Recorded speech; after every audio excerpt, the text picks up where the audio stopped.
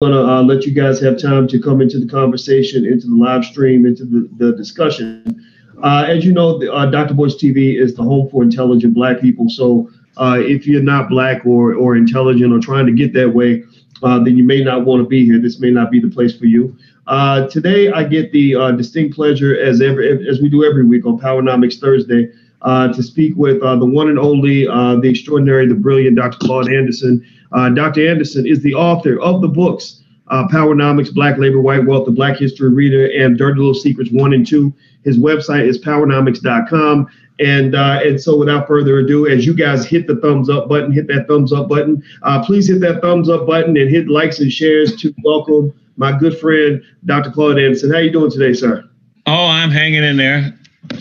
Good, good. All right. So uh, uh, let, let's get started. Okay, so everybody, uh, as, as we uh, as we get started, everybody comes in here. Uh, we always do the city shout out, and I want you to shout out your business. Uh, this this platform belongs to the community, so I want you to promote your business uh, or promote your dream or just at least rep your city. So everybody on the count of three, go ahead and shout out your city, your business, or your dream. Your city, your business, or your dream, or you can shout out all three. Um, I see Lisa's here, Conrad, Tahia, Israel. How you doing, Tahia? Ricky Stone, uh, Anderson Hatch uh, from Philadelphia. I see uh, Master Ride, uh, Ricky Fontaine. Dr. Boyce, please check my DM when you have a minute. Okay, sounds good. Um, let me see. I see Organized Bufu. I don't know what that is, but it sounds interesting. Uh, I see, um, uh, let's see, Chill Vision from Stockton, California, Mr. Lomax from Seattle, Nature Boy from Jackson, Mississippi. I love Jackson. Uh, Michael R. from Pittsburgh. Y'all got cr- crazy traffic. Y'all need to fix some freeways.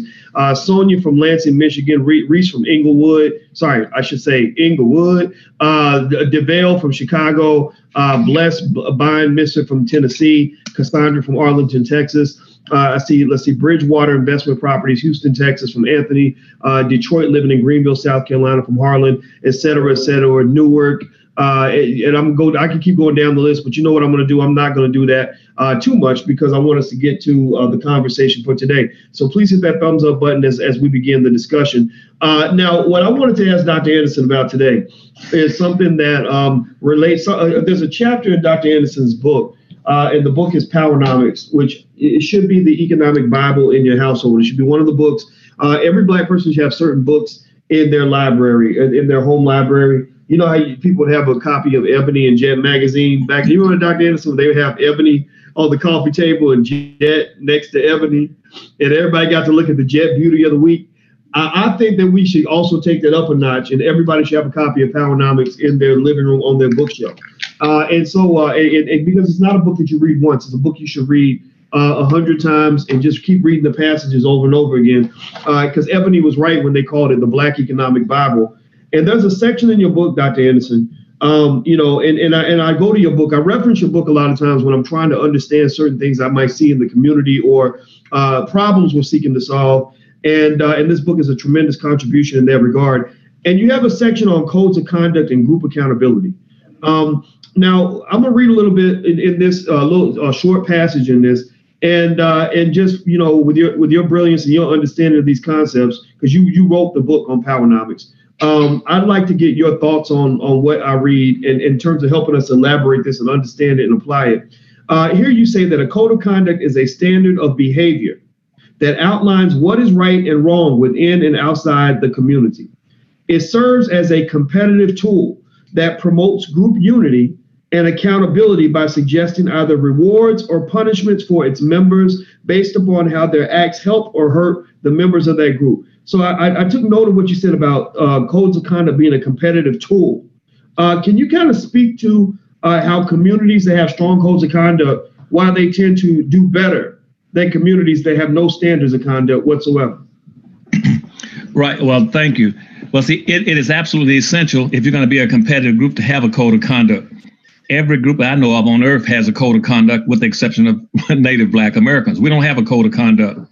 And um, in whites, for instance, let's, let's, let's, let me show you the difference between one being competitive and one being a way of controlling. See, the first time a code of conduct was introduced uh, in this country that was respected was in the slave codes of 1705. What they did, they put out this was a slave code in 1705. What it said very explicitly, Doc, Dr. Watkins, is that it's like having a two-headed, two-sided coin. They said, here's how white folks must behave. They must behave. On one side, and on the second side, this is how black folk must behave. On the white side, on the side of that coin, it says that white people, certain things that white people cannot do, and they would not tolerate it. You cannot, for instance, allow a black person to be an authority in a, in, in, in, in, a, in a controlled situation over whites. That is absolutely forbidden. Point one. It says that you cannot have a let allow a black person to speak to or address a white person by his first name. You it, it, it says second, thirdly, you cannot allow a black person to try to hold a white person accountable.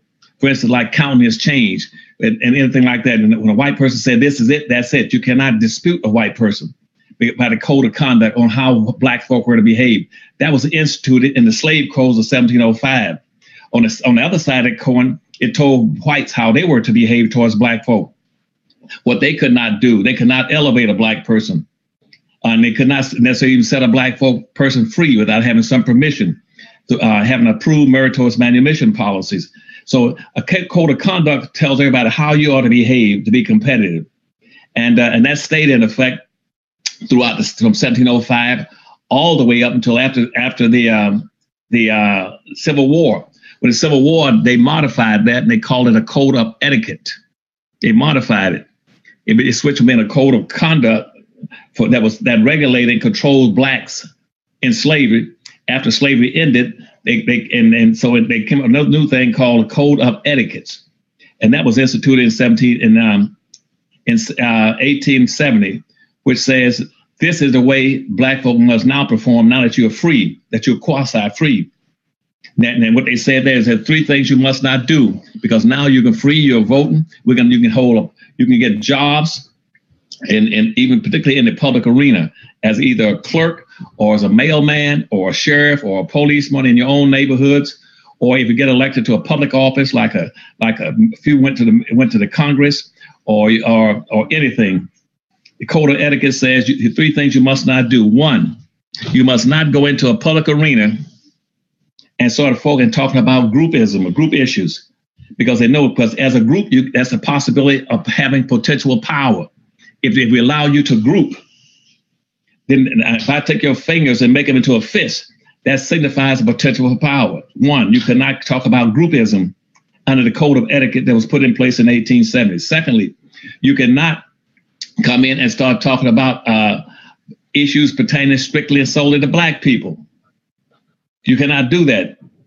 And thirdly, the thing you cannot do, you cannot come in and start trying to hold white folks accountable for how we treated you during 360 years of slavery. That was a code of etiquette that came in. And that was and it was codified after that into what you all call the black codes, which means we're gonna now put in, in uh, peonage laws. So every state enacted laws in in the South that told black folk exactly how they were to behave. It's called the black codes at that point in time, which is a code of etiquette, etiquette and uh, that was a nice way they put it. it. was a code of controlling black folk in the South, saying you could not have a weapon. You can, you can have a shotgun, but you can't have a pistol. You cannot you cannot be anywhere near a white woman. Those are codes of etiquette. It's designed not only to control, but it's also to keep you either competitive or non-competitive. It kept white folk competitive in the slave codes and the code of etiquette, but it also kept black folk non-competitive, weak, and and in a weakened, vulnerable position. Now, that, that that's just the net code. Now, other groups have a code of conduct. For instance, Asians have a code of conduct.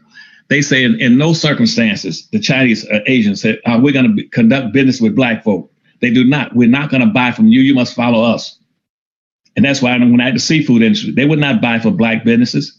I found, I did a research and found over 237,000 Asians that had become wealthy people, multimillionaires off of selling products and services and goods to black people in America, Dr. Watkins.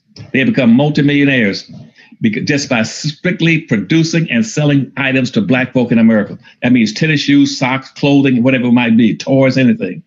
But I could never find not one Asians, one black person would become a, a multimillionaire for selling something to, to Asians. And they told me repeatedly in Miami and in Washington, D.C., we do not buy from black folk. We will not hire black folk. It's against our code of ethics, our code of conduct. We won't do it. And then, and nobody. That's why they all boycott black businesses. That's why no, no, no ethnic groups going to come to your community and buy anything from you.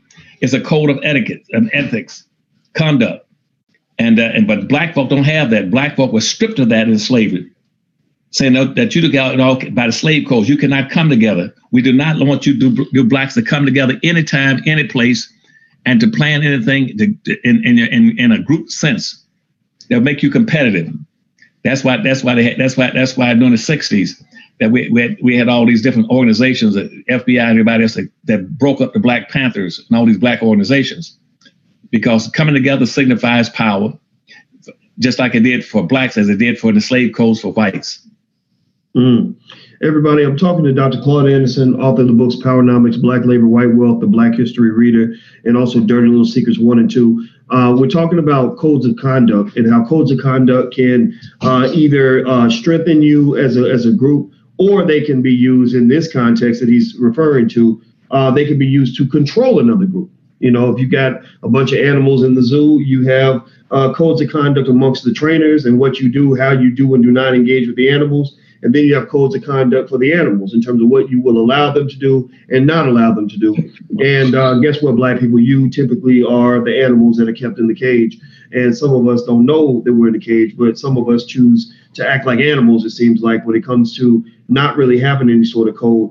Uh, so, Dr. Anderson, I want to ask you this question. Everybody, please hit the thumbs up button. If you haven't hit the thumbs up button, please uh, take one second on, on the count of three. Everybody hit the thumbs up button or share the video or both, do both. Uh, one, two, three. If you're on Facebook, please share it. YouTube, anywhere, please share this link. Um, so, so uh, Dr. Watkins, if you want me, I'll elaborate further on that point I just made to you. See, in America, that's why black folk don't have communities. See, we're the only group in America that do not have not one single solitary community. Because they have a community, that's a form of structure, a sense of community, a sense of peoplehood, a sense of togetherness. You cannot have you cannot have a sense of community if you don't have a sense of togetherness. And so when you have a code of conduct, it'll tell you how you to cooperate and how to have a community. That's why whites would build forts. Or if somebody was attacking them, the Indians attacking, they, they'll circle their wagons so they were, they, they, were, everything was based on your own common conditions at that particular time, your needs, your interests, and a self, sense of protection. And see, blacks don't have any communities. And so consequently, you go across America, you find everybody got it but us. To have a community, you must have three, three, uh, three elements in there. The first one is a, is a wholly independent economic structure that will provide jobs, business, products, services, and goods for your own people and business opportunities for your own people. We have none. We, we don't have not one community in America. We don't, all we got are neighborhoods. A neighborhood is not a community. So, so, so when, if it's just a neighborhood, there is no code of conduct in a neighborhood. A neighborhood is go for yourself and do what you want to do with, even if it's your neighbor. It says you have no alliance, you have no respect for, you no appreciation for. You don't support your neighbors in a neighborhood. Consequently, start talking about black folks shooting other black people. They shoot them because there's no code of conduct saying don't kill your own people when, when you live in a neighborhood where, where you got all these abandoned houses, boarded up buildings, run down buildings, vacant lots with weeds growing up and fences and, and filth on the sidewalk and mattresses on the sidewalk. There's no code of conduct about cleanliness and respecting and appreciating your own people. So consequently, there's no code of conduct. So when one person they might have a television next door to you, when, you, when he leaves to go to the work, you break in his house and steal his damn TV. There's no code of conduct saying support and protect your own people or buy from your own people and see that everybody. And so we don't have a community, or we got a neighborhood. So there is no black code of conduct. You know, but to have a community, you must have a wholly independent economic structure, a code of conduct, and, and, and a body of elected officials who put your interests first and foremost. We don't have that. So consequently, blacks have no code of conduct. Their code of conduct, Dr. Watkins, I know I'm give you a long spiel. Their code of conduct is do your own thing for yourself. That's that's the code of conduct for black folk. That's why you can be a member of the black overclass. They don't give a damn about you. And if you want to shoot shoot somebody, go into any black community. They'll, they'll kill another black at the drop of a hat because there's no code of conduct saying you don't shoot and kill your own people. And then, but but and that, that's why Jews stick together, Arabs stick together, Hispanics stick together, American Indians stick together, and black people stick each other. Wow. Well, well, I'll tell you what, Dr. Anderson, it's uh, that's that's um uh, a lot of honesty. This this really you know kind of hitting us hard. Tell tell me uh, what if, if this resonates with you guys. Uh, uh, yes or no. Let us know what you think. throw in your two cents. Um, I see Leon's from South Central uh, you know, where you've got a lot of people in South Central that have that maintain the code of conduct, but you have a lot of people that don't maintain the code of conduct, and that's why we lose important people like Nipsey, Nipsey Hussle, whoever, um, uh, you know, or whoever else. I mean, it's, probably somebody else who died this week. We just did, we just don't know anything about it. It wasn't covered in the media. Uh, so, so Dr. Anderson, uh, you mentioned that a an independent economic structure is one uh, one thing that differentiates a neighborhood from a community. Right some other uh, factors, characteristics that uh, that will help us identify just what we want to aim for if we, if the goal is to create a community besides besides independent economic structure. What else would a community have? I'm sorry. So answer that last question again now. Oh, sorry. I'm sorry. Uh, in addition to an independent economic structure, what are some other signs that you actually have a community versus just a neighborhood? Right. Well, see, in the code of conduct, the code of conduct will say it tells you what, what to buy, who to buy from, who to support, who believe in, who to trust, who to fight for, who to protect, and who to align with. That's your code of conduct. That's why I'm not when when blacks come down to Washington D.C. and they go over to Chinatown. Let me give you some examples. Again, some of the more prominent ones I know about. You go over to Chinatown. You tell the Chinese merchants, say, "Look, I'm a black person. I'm selling warehousing products and services, and uh, I want like to sell you some of it." And I consider some of the same commercial products you got on your shelves right now in your stores. This is meeting with the with the with the Asian merchants right here in H Street in Washington D.C. Watch the code of conduct now. They come out and meet in a room, and these and the blacks say, "Look, we like to sell you those same products you got on your shelves, and uh, we like to want like for you to buy some from us." The Asians, you know what the Asians say in the code of conduct? I'm sorry, we can't do that. They said, why? They said, because uh, because we're not interested. And so what the blacks would say, well, okay, we'll give you a 25 to 30% discount on the same Cheerios and and and what and the sodas, the bottle pop, whatever you're buying. The Asians say we're still not interested. And what the blacks will say then, we don't understand that. Why is it that we come into your community and sell you the same products, the same goods, and give you a 25 to 30% discount? Why is it you won't buy our products? You know what the Asians say? Because it's against our code of conduct. In our com- in our community, we only buy from our own people. Only you black folk will buy from any and everybody because you don't have a code of conduct. That's why right now you you got a you got a 1.3 trillion dollar income, and you spend 98 percent of that money outside your own community. You don't buy from your own people.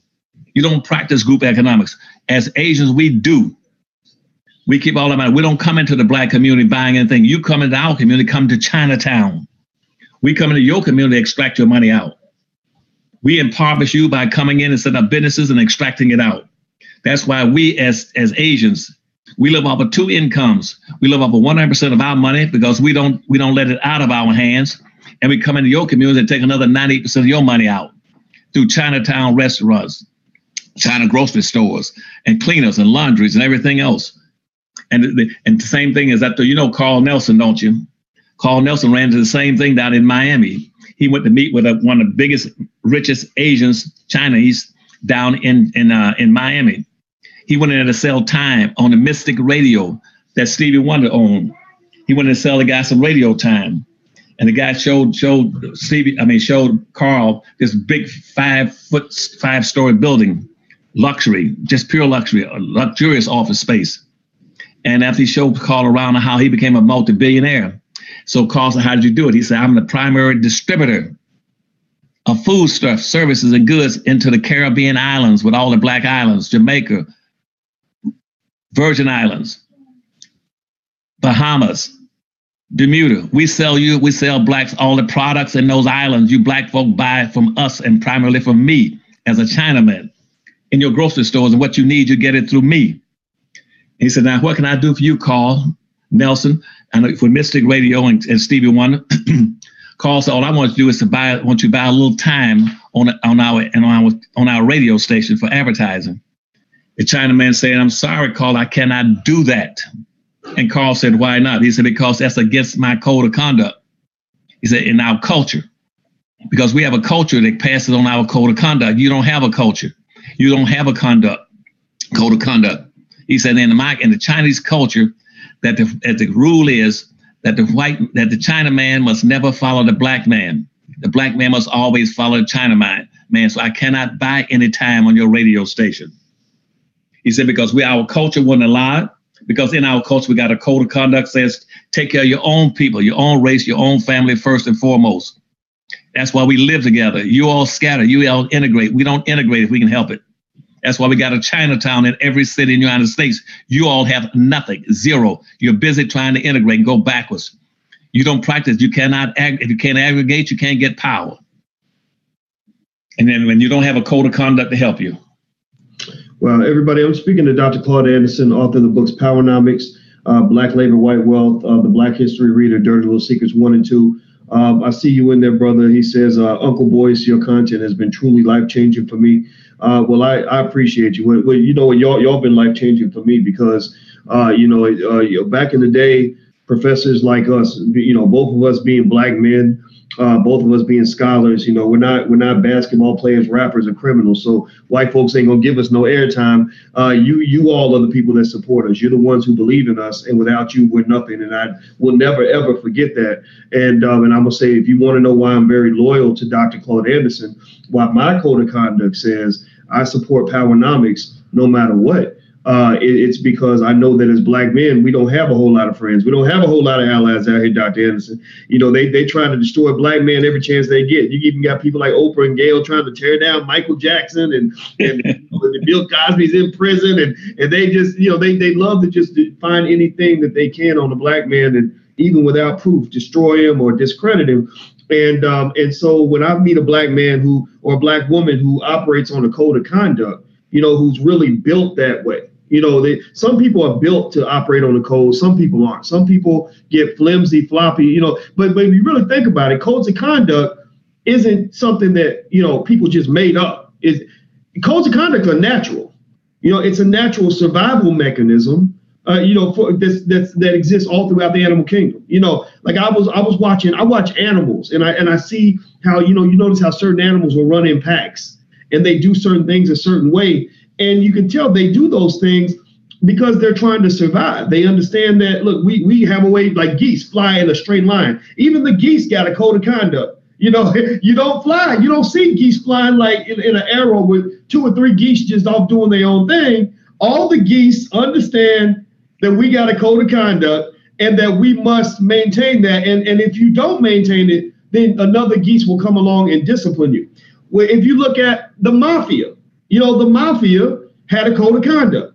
They had an organized, organized structure. Uh, if you wanted to go kill somebody, you had to have a sit down. There had to be a sanctioned killing. Uh, if somebody got killed in an unsanctioned fashion, they'd have another sit down. If you talk, if you got if you got arrested by the police, you ain't supposed to talk, or we'll come kill you. You know, so so you know, codes of conduct exist everywhere. Every what I find, Dr. Anderson, is that every living, breathing, uh, successful organization or group usually has a code of conduct that holds it together. Even if we if we all, all go all went and went to work for Bank of America, Bank of America is a corporation which is pretty much kind of like a, a economic version of a gang, you know. And basically, Bank of America, when you walk in the door and you say, "I want to get money from you," they say, "Okay, well here are all the lists of rules and regulations that we have for all of our employees, and you need to sign this. This is your code of conduct, and if you violate that, you're going to be out because we know that maintaining that code is important for the survival of what we're trying to do." You know, uh, another example, Dr. Anderson, that comes to mind is I remember uh, in 1996, there was a time where uh, Kevin Garnett, who was as a former NBA player, he got this massive, he, he went into his contract negotiation. He was a free agent. And the Minnesota Timberwolves wanted to keep him so bad that they gave him an insane amount of money. They, they started paying him $21 million a year, where the average player at that time wasn't making nothing but maybe five or six million a year. Even the superstars wasn't making more than 10 million a year. They gave him 21 million a year. So all the team owners freaked out. They said, no, no, no, we got to have a lockout. You know, lockout is basically like a strike, except the owners are the ones who are locking out the players, right? So the, right then, the NBA team owners had a lockout. Now let me tell you why the uh, the owners. In, there, it was a prolonged negotiation. I don't know if you remember. It was all over the news. It, it lasted for months, and in the negotiation, the owners obliterated the players. The owners kicked the players in the butt. And the reason they kicked them in the butt is because when the owners got together and negotiated with the players, when they had their meeting, David Stern, the commissioner of the NBA, put the owners on a code of conduct. From the very beginning, he said, now the players are going to be all over the place. You got the players making lots of money, like Michael Jordan. They're going to want one thing. The players who, who, who are behind on the rent, they're going to want to sign a deal real fast, and they're going to be a lot of lot of confusion, a lot of dispersion in terms of who wants what. They're going to be fighting. He said, you all must be on the same page all the time, every day. So he gave them a code of conduct. He said, every time we vote, it must be unanimous. It must be unanimous. And so every time they would vote on what they wanted to do or wouldn't do, it was always unanimous, always unanimous, always unanimous, always on code, always on code. And the players got obliterated because they could not compete with the owners. You know, so when I think about code of conduct, I think about all the institutions that get held together because that's what black people are missing, right? One thing we're missing is we're missing unity, right? We're missing organization. We're missing institutions. Why? Well, because we're missing codes of conduct. So when I think about uh, other institutions, like I think about my parents, my parents uh, were like an institution to me. You know, marriage is an institution. And my parents always had a code of conduct. They did not argue in front of the kids. They never let us know that they disagreed on anything. You know, even if my mother did not agree at all with what my father was doing, she would say, do what your daddy said. You know, same thing, same, vice versa. You know, and, and, and I didn't know till 20 years later that there would be things that they really disagreed about, but they said we're gonna stay on code when it comes to dealing with the kids. So so I just think about all these examples of codes of conduct, and it almost seems to me like you're saying that uh, that maybe this is something we should teach children. In fact, I think you said it in Powernomics that right. in the community we must start teaching the children while they're young so they'll grow into the code of conduct. Can you kind of speak to that a little bit? Yeah, yeah. See, and see, a, a code of conduct radiates and emanates from your culture. And see, we were, we were intentionally stripped of our culture. When they put black folk out of Africa on those boats, they stripped them. They stripped them of their religion, their language, their history, their orientation, everything. They were stripped down. They had no, they stripped of their culture. The only culture in America is not African American culture. What we got now, we have a fabricated culture we, we learn we learn how to survive. Culture comes from behavior patterns that are acceptable and favorable to you that you pass from one generation to the next. That's what culture is. Tell them forget all that BS people how people define it. Culture is nothing but acceptable behavior patterns that are beneficial for a group of people to protect themselves and to compete. And they pass it down to the next generation. That's what culture is. Now, see, white folks strip black folk of their culture, and and and, and that's why they came up in the seven, 1705 that slave code. Now, by 1710, remember this now, 1710, which is about five years later, guess what they did? They instituted what I told you before called meritorious manumission. They said, now we're gonna we got now that we stripped you of your culture, and now we taught you our what our culture is for a white male, how he is to treat you. It told white folk how to treat black folk. Then by 1710, they said, now here's what we're gonna put on black folk. It's called meritorious manumission. And the meritorious mission was based on three things. One is that you can be set free if you drop your culture and start accepting the white our culture. And you do this one, you work hard and diligently and try to help white folks to be productive on these plantations and making money. You try to enrich whites the best you can. That's why black folk will go around the plantation boasting, bragging about how big and how rich their plantation, white plantation was owner was. They love being associated with the biggest damn plantation and picking the most cotton and making that was the first thing. Secondly, they boasted in making the black and making white folks rich. They got an incense of gratitude out of it. You got black folk right now. Go like to look at Black Enterprise magazine. A successful black is a black who gets appointed to the highest level inside a white corporation. It could be Michael Caine over Godfather Pizza. He's the damn president in his damn pizza shop he takes he, he, he gets he gets he gets he gets satisfaction out of being the president of the damn Godfather Pizza. I can take go to Time Warner. They put a white put a black man up there and put him as the president, and he he's just so happy if he does it. And it should all and what, what they do, white white people were taught to aspire to be successful inside of a white culture, not their culture, but inside of a white culture. And so, and so in 1710, the first thing they did is says, you got to work hard on this plantation and make us enrich us. Point one.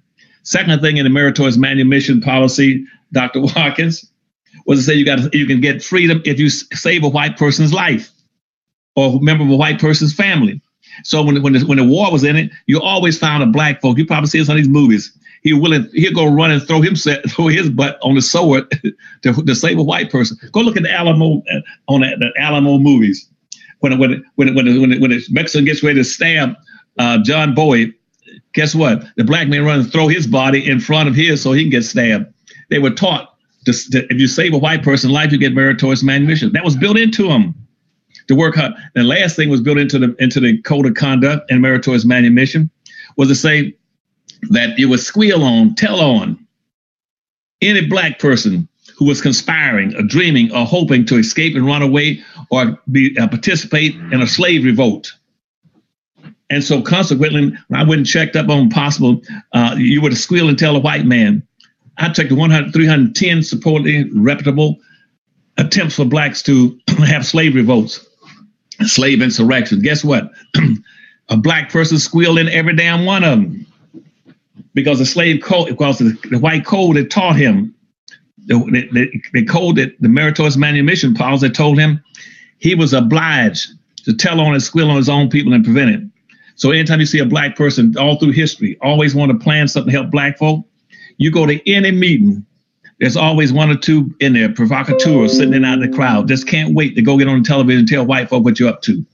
That's a part of the culture. They've been enculturated to do that, to sell their own people out, to break in their own neighborhoods, their own neighbor's home. Go to any major city, urban area. They get pissed off, want to kill somebody. They're gonna run kill their own people. You know why? Because they're seeing they're seeing black folk through the eyes of whites. If whites have no respect for black lives and black lives don't matter, and, and, and black man's been enculturated to see his own people through the eyes of whites, then what does it mean to go, go kill another black man? So there's no there is no code of conduct for, for blacks. And you're talking about about uh, like the Asians. Just in running my seafood factory, and after after nine years, you know who would buy all my seafood? Asians. They came. They would come down by ten or fifteen thousand pounds a week. But guess what? They would tell me, "said Dr. Anderson, you're the only black person that we'll buy from. We don't buy anything from no black folk. We don't buy from black folk. They say if you ever on a Saturday, on a Friday night, you can see all kind of blacks saying, "Come on, baby, I'm going to take you out to Chinatown." They say you're never, never, never, never going to see a black, a white China man go and tell his wife, "Put your best clothes. I'm going to a nigger town, go to a restaurant." They ain't gonna do it. They're, that's why the Wall Street Journal put out a put out a big story saying the Chinese said under no circumstance they're going to buy from black folk they're never going to hire the black folk. You can go to any Chinese business or Asian business, they're not going to hire the black folk because their code of conduct that you're raising the issue about. Their code of conduct is forbids that. That's my point. Wow. Uh, everybody, I'm talking to Dr. Claud Anderson, and uh, as you know, he's the author of the books Powernomics, Black Labor, White Wealth, The Black History Reader, and also uh, Dirty Little Secrets 1 and 2. Uh, these books should be in your library. If you have not uh, taking a look. I hope you will uh, have it in your heart to go to powernomics.com and go take a look at what he's got there. These you can buy the books off powernomics.com, and uh, it's you know I mean you think about all the things that you could spend a few dollars on that are complete waste of time, complete waste of money that won't give you anything. Uh, these books I can say I can certify they changed my life in terms of really shifting my perspective. And I and I think I thank God that somebody wrote about this stuff. You know, there's a lot of Black history, um, Dr. Anderson, that you've covered in your books that that we never learned in school. Ain't nobody gonna they gonna tell us this on TV. You know, and so when you have somebody that, that took that time to spend thousands of hours researching and detailing very specific things, uh, you know, that, that we can utilize in the battles for things like reparations or the political conversation or economic development conversation uh, you know, that's an asset that will that can last us for hundreds of years. You know, this is I mean, this is something that uh, you know, when I think of when I go back to Powernomics, I feel like I'm looking at, you know, just something that's um just structured. You know, like I just, just turned a random page and here you you know when you break down uh, the original role of black churches and things like that, you know, you got I got stuff underlined and all that. It's because I keep going to the books and I keep on finding stuff that is relevant to exactly what we're dealing with today. You know, like Black Labor, White Wealth. This book is ripped up. You know, I done, I scratched it up, wrote it because I end up reading the same passages over and over and over again. And what I do is like putting together a jigsaw puzzle where I'm taking what's in the book and I'm connecting it to what I'm seeing in the black community because we're all trying to figure this puzzle out. And uh, and so I think this is a, a 100 year project. This is not something that's going to happen overnight. It's going to be done, you know, probably 200 years after all of us are gone. You know, so but but we, we have to leave something there in terms of a legacy. So so speaking, going back on, so everybody, uh, before we move on, please hit the thumbs up button. If you haven't hit the thumbs up button, please do that right now. Uh, we would love for you to do that. Also, if you want to support the platform, uh, you can support by going to blackfinancialintelligence.com. That's blackfinancialintelligence.com. Your kids are getting ready for the summer, so you can get some flashcards, workbooks, things like that that we have for children uh, that'll teach them economics and financial literacy. But so let, let, let's go back to code of conduct. Boyce, what you've done, and I congratulate you, you just pulled a sheet off of what I've been, what my old, old intent for the last 50 years, what it was. What's it? With writing those five books, you know what the intent was? What's that? To try to to try to instill in black people a black culture, a positive black culture, an appreciation, and a code of conduct for my people. That's the point of those books you just articulated. Black labor, white wealth, saying here's the nature of the problem. Powernomics that says here's how you started playing the game and win as a team. Dirty Little Secret that says you are special people exceptional people, two books that laid out 1,000 little episodes and stories about how what how what blacks have created and achieved under the most dire circumstances on the earth. And the last book, The Black History Reader, those five books were designed to instill in you a black culture and a sense of togetherness. And that's why, in the last thing you, I, I said to you about, about a week ago, I've been trying very hard that once I put all those things in place and get enough of those books sold, I was trying to create, generate, an us too movement based on a new culture, a new understanding, a new belief, a new sense of faith, togetherness, need, to, and camaraderie to work together as a team and practice group economics and group politics. You just exposed it. That's exactly what it was for. You just it was to bring black folk together and say you are special, you're exceptional people. You've heard me say this at least a million times that you are special people, exceptional people. But see, the problem is you cannot be an exceptional people. You cannot play as a team at the same time you're trying to social integrate. It cannot be done. You mm-hmm. cannot have your foot on the brakes and the foot on the gas pedal at the same damn time and want to know why you're not moving, why you're not progressing. Anybody that drives a car, so say, say, I, I got my left foot on the brakes, I got my right foot on the gas, this damn car won't move because you're doing so you're exercising inappropriate behavior for the conditions you're in and what you've been in for the last 460 years. You don't play as a team. You don't practice group economics. You don't practice group politics. You don't have a culture. Your culture right now is not African culture. It's a culture that slavery and Jim Crow immigration allowed you to generate to protect yourselves in this country since the eight for the last 460 years. You have a your culture would be black music. Every form of black music in this country and around the world, whether it's in Latin America, or Asia, they play black music. You are the when you generate. You have a genius for generating music. Same thing in sports. You have a genius uh, for, for, for, for big athletics and, and performing. You got a physical anatomy that, that gives you a major advantage over anybody else in sports. You, you, you, you had a genius for creating slang, talk, conversation, which somebody called non-standard Negro dialect. You had all these geniuses and talents, but you don't use them because you're so damn busy trying to run away from blackness and social integrating. You don't have a code of conduct that you can learn that you can use to compete you should be controlling the damn the, uh, the sports industry from the bottom to the top. You should be owning the you should be uh, owning the stadiums, producing all the athletic equipment. You should you should owning all the athletic teams. In music, you should be controlling every aspect of the music, whether it's jazz, blues, Dixieland, uh, gospel. You should want to be generating all uh, all special kind of uh, clothing in the country. Black folk don't do it because they have no code of conduct, and you put your foot right on the spot today. Mm. Well, you know what, everybody, I, am I'm, I'm gonna lay this out here now, Dr. Anderson. I'd like to get your take on this. Um, you know, I, I'm I'm a big believer in the code of conduct, not because it's something that I figured out on my own. I'm I'm not I'm not gonna ever, ever claim to be that smart. Um, I went to school for a little bit and I figured out a couple of things, but I don't know everything. But uh, but but again, you know, we talked to you guys earlier uh, even animals understand codes of conduct. You know, when you when you see birds flying in an arrow like that, that's because the birds have an in, innate code of conduct that they understand that it just came from Mother Nature, from God, or from a higher power, whoever wherever it came from. You know, we know these birds didn't go to college. They didn't read Powernomics. You know, the birds didn't have somebody teach them how to have a code of conduct. They just have it, right? Uh, and in fact, Dr. Anderson, there was this week there was um this goose. I, I was telling everybody the story about this goose. I was running down the road. You know, I've been doing all my jogging, trying not to get too fat.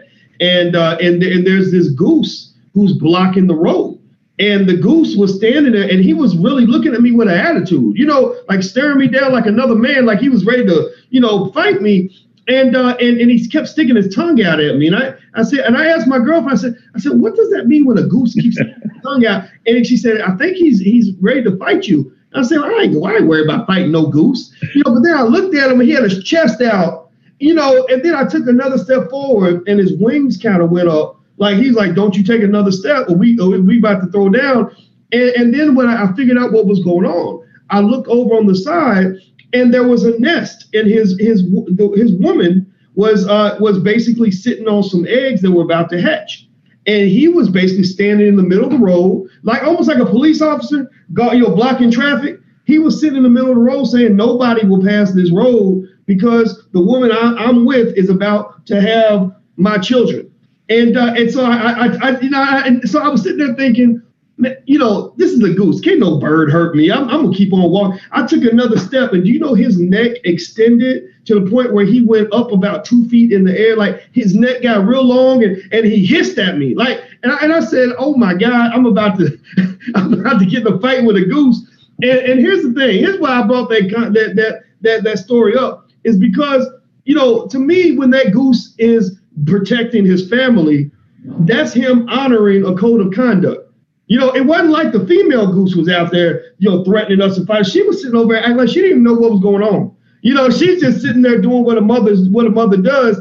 And he knew that as his code of conduct, that as the man of the house, he's supposed to make sure that she's safe while she delivers the babies.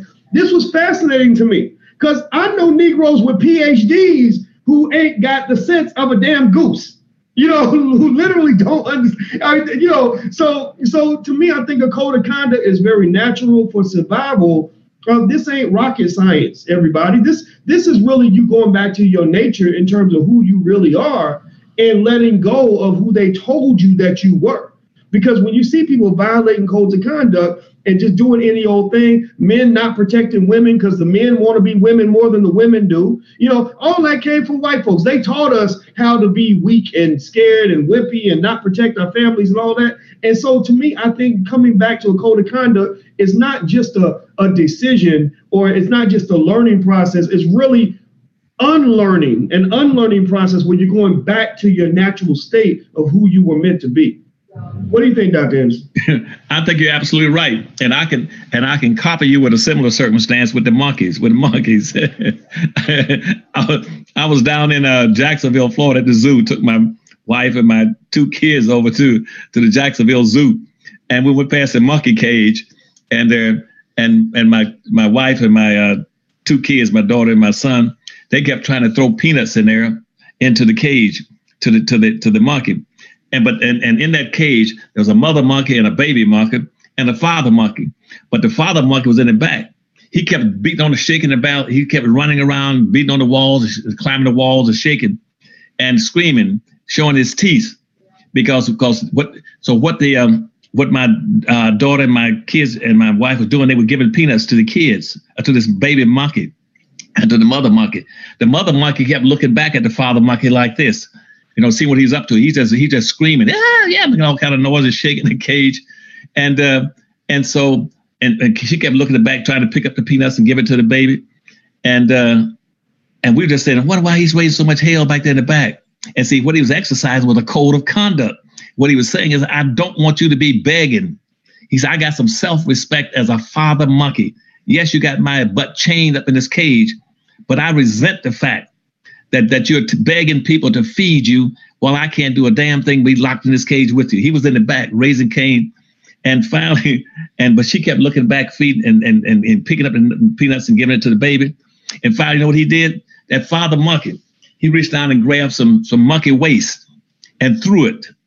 And it just barely missed my missed my daughter and my and my son. He threw it at him. And what he was saying is, he and, and I and I told my wife, I respect that damn monkey the father monkey. He said, he says, get the hell away. He, and he said, I don't want my damn wife and my my kid begging you for some damn food. You got us locked up in a damn cage. And see, black folk never got that through, and I never understood that. That's why right now, all this thing with transsexual and gayism, black folk don't stand up. They don't understand that the black male is an endangered species. His ass is grass.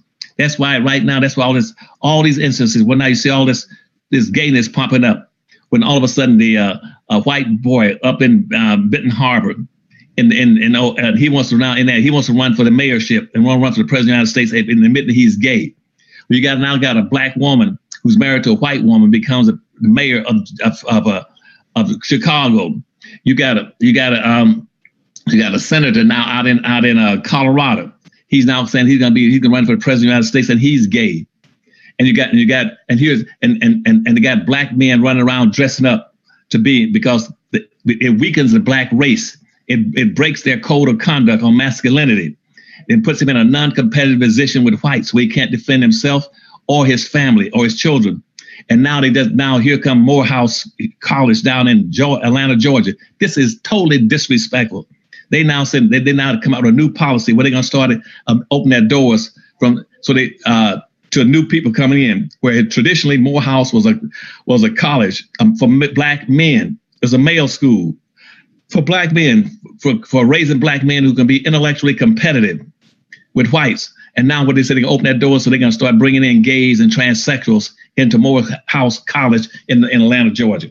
That is totally insulted. That is that. And so what I'm saying to people is that the black male, not only they shooting one of you every other week and killing you, they're beating you all the time by the police. They're not dragging Indians and beating them and shooting them. They're not dragging white females. They're not dragging. They're not dragging Asians, uh, Arabs, and beating them. The only the, the endangered species in this country is the black man. Anything that you do that that weakens or destroys your code of conduct, your masculinity, your ability to protect and produce for your own people, you are killing yourselves. That's a form of suicide. That, that homosexuality is a form of suicide. It's inappropriate behavior, and they're trying to get black folk to accept it. So they'd be so damn weak, anybody can kick their ass for the rest of their lives.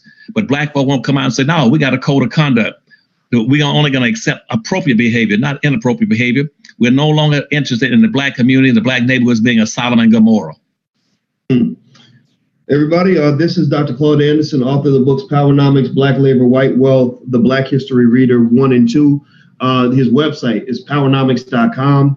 Uh, I hope that you will go and take a look at powernomics.com uh, because uh, these are the books that I believe every black child should read. Um, and so, uh, what I think we can do, hit the thumbs up button if you haven't done this. Please hit the thumbs up button. also, if you'd like to support intelligent black media, uh, as we push intelligent black media throughout the world. Uh, please feel free to go to intelligentblackpeople.com. That's intelligentblackpeople.com. Uh, so, uh, so uh, what I want to do is lay out um, three elements to uh, what everybody can write down uh, as as as a as, as, a proposed code of conduct for everybody is in here. If you if you if you, you will give me the privilege and the opportunity to make a suggestion, uh, and Dr. Anderson, you can feel free to add to this, but I'm gonna throw out a suggestion for a code of conduct. You know, it, it's a it's a balance. You know, I want you to have your civil liberty to do what you want. I'm not going to judge you for this, but I'm gonna as a as an advisor. I'm I'm not trying to be your leader. I want to, but I, I'd love to be an advisor for you. Let me give you some suggestions on what I think could be a good code of conduct that we could begin in our households right now. Your household is your kingdom, that is your space. In my household, the culture, the black culture in my household ain't the same as the black culture that's out there. You know, in my household, the culture involves education. Uh, in my household, the culture involves financial literacy. Uh, in my household, the culture involves black people loving each other and supporting each other, not no foolishness, domestic violence, or ignorance, anything like that. Why? Well, because in my household, I'm the king. In this kingdom, I am the king. I am uh, Joffrey from Coming to America, and my face is printed on the money. Okay, so the same thing is true in your household. In your household, you are the king, you are the queen. You define the culture, you define the codes of conduct. You are going to build your family empire. So let me make uh, three quick suggestions so that everybody can have something to take home with them. Uh, and you can write this down. If you got a pen nearby, write this down. I'm gonna make a suggestion on some codes of conduct you may want to consider and implement. This is what we believe in. This is what we do in our house. Number one, We believe deeply, and we repeat uh, incessantly to the point of brainwashing, what we call the black core of three. If you know the black core of three, please state it. I'm gonna start having you guys or asking you guys, inviting you to state the black core of three. We believe, in, uh, it, and this is the foundation for the Black Business School, everything else. We believe that black people should um, educate our own children, create our own jobs, and support black businesses. We believe black people should educate our own children, create our own jobs, and support black businesses. We know that others are not educating our kids. We need to do that. We need to create our own jobs because we don't want to spend our, our, our, our lives as slaves.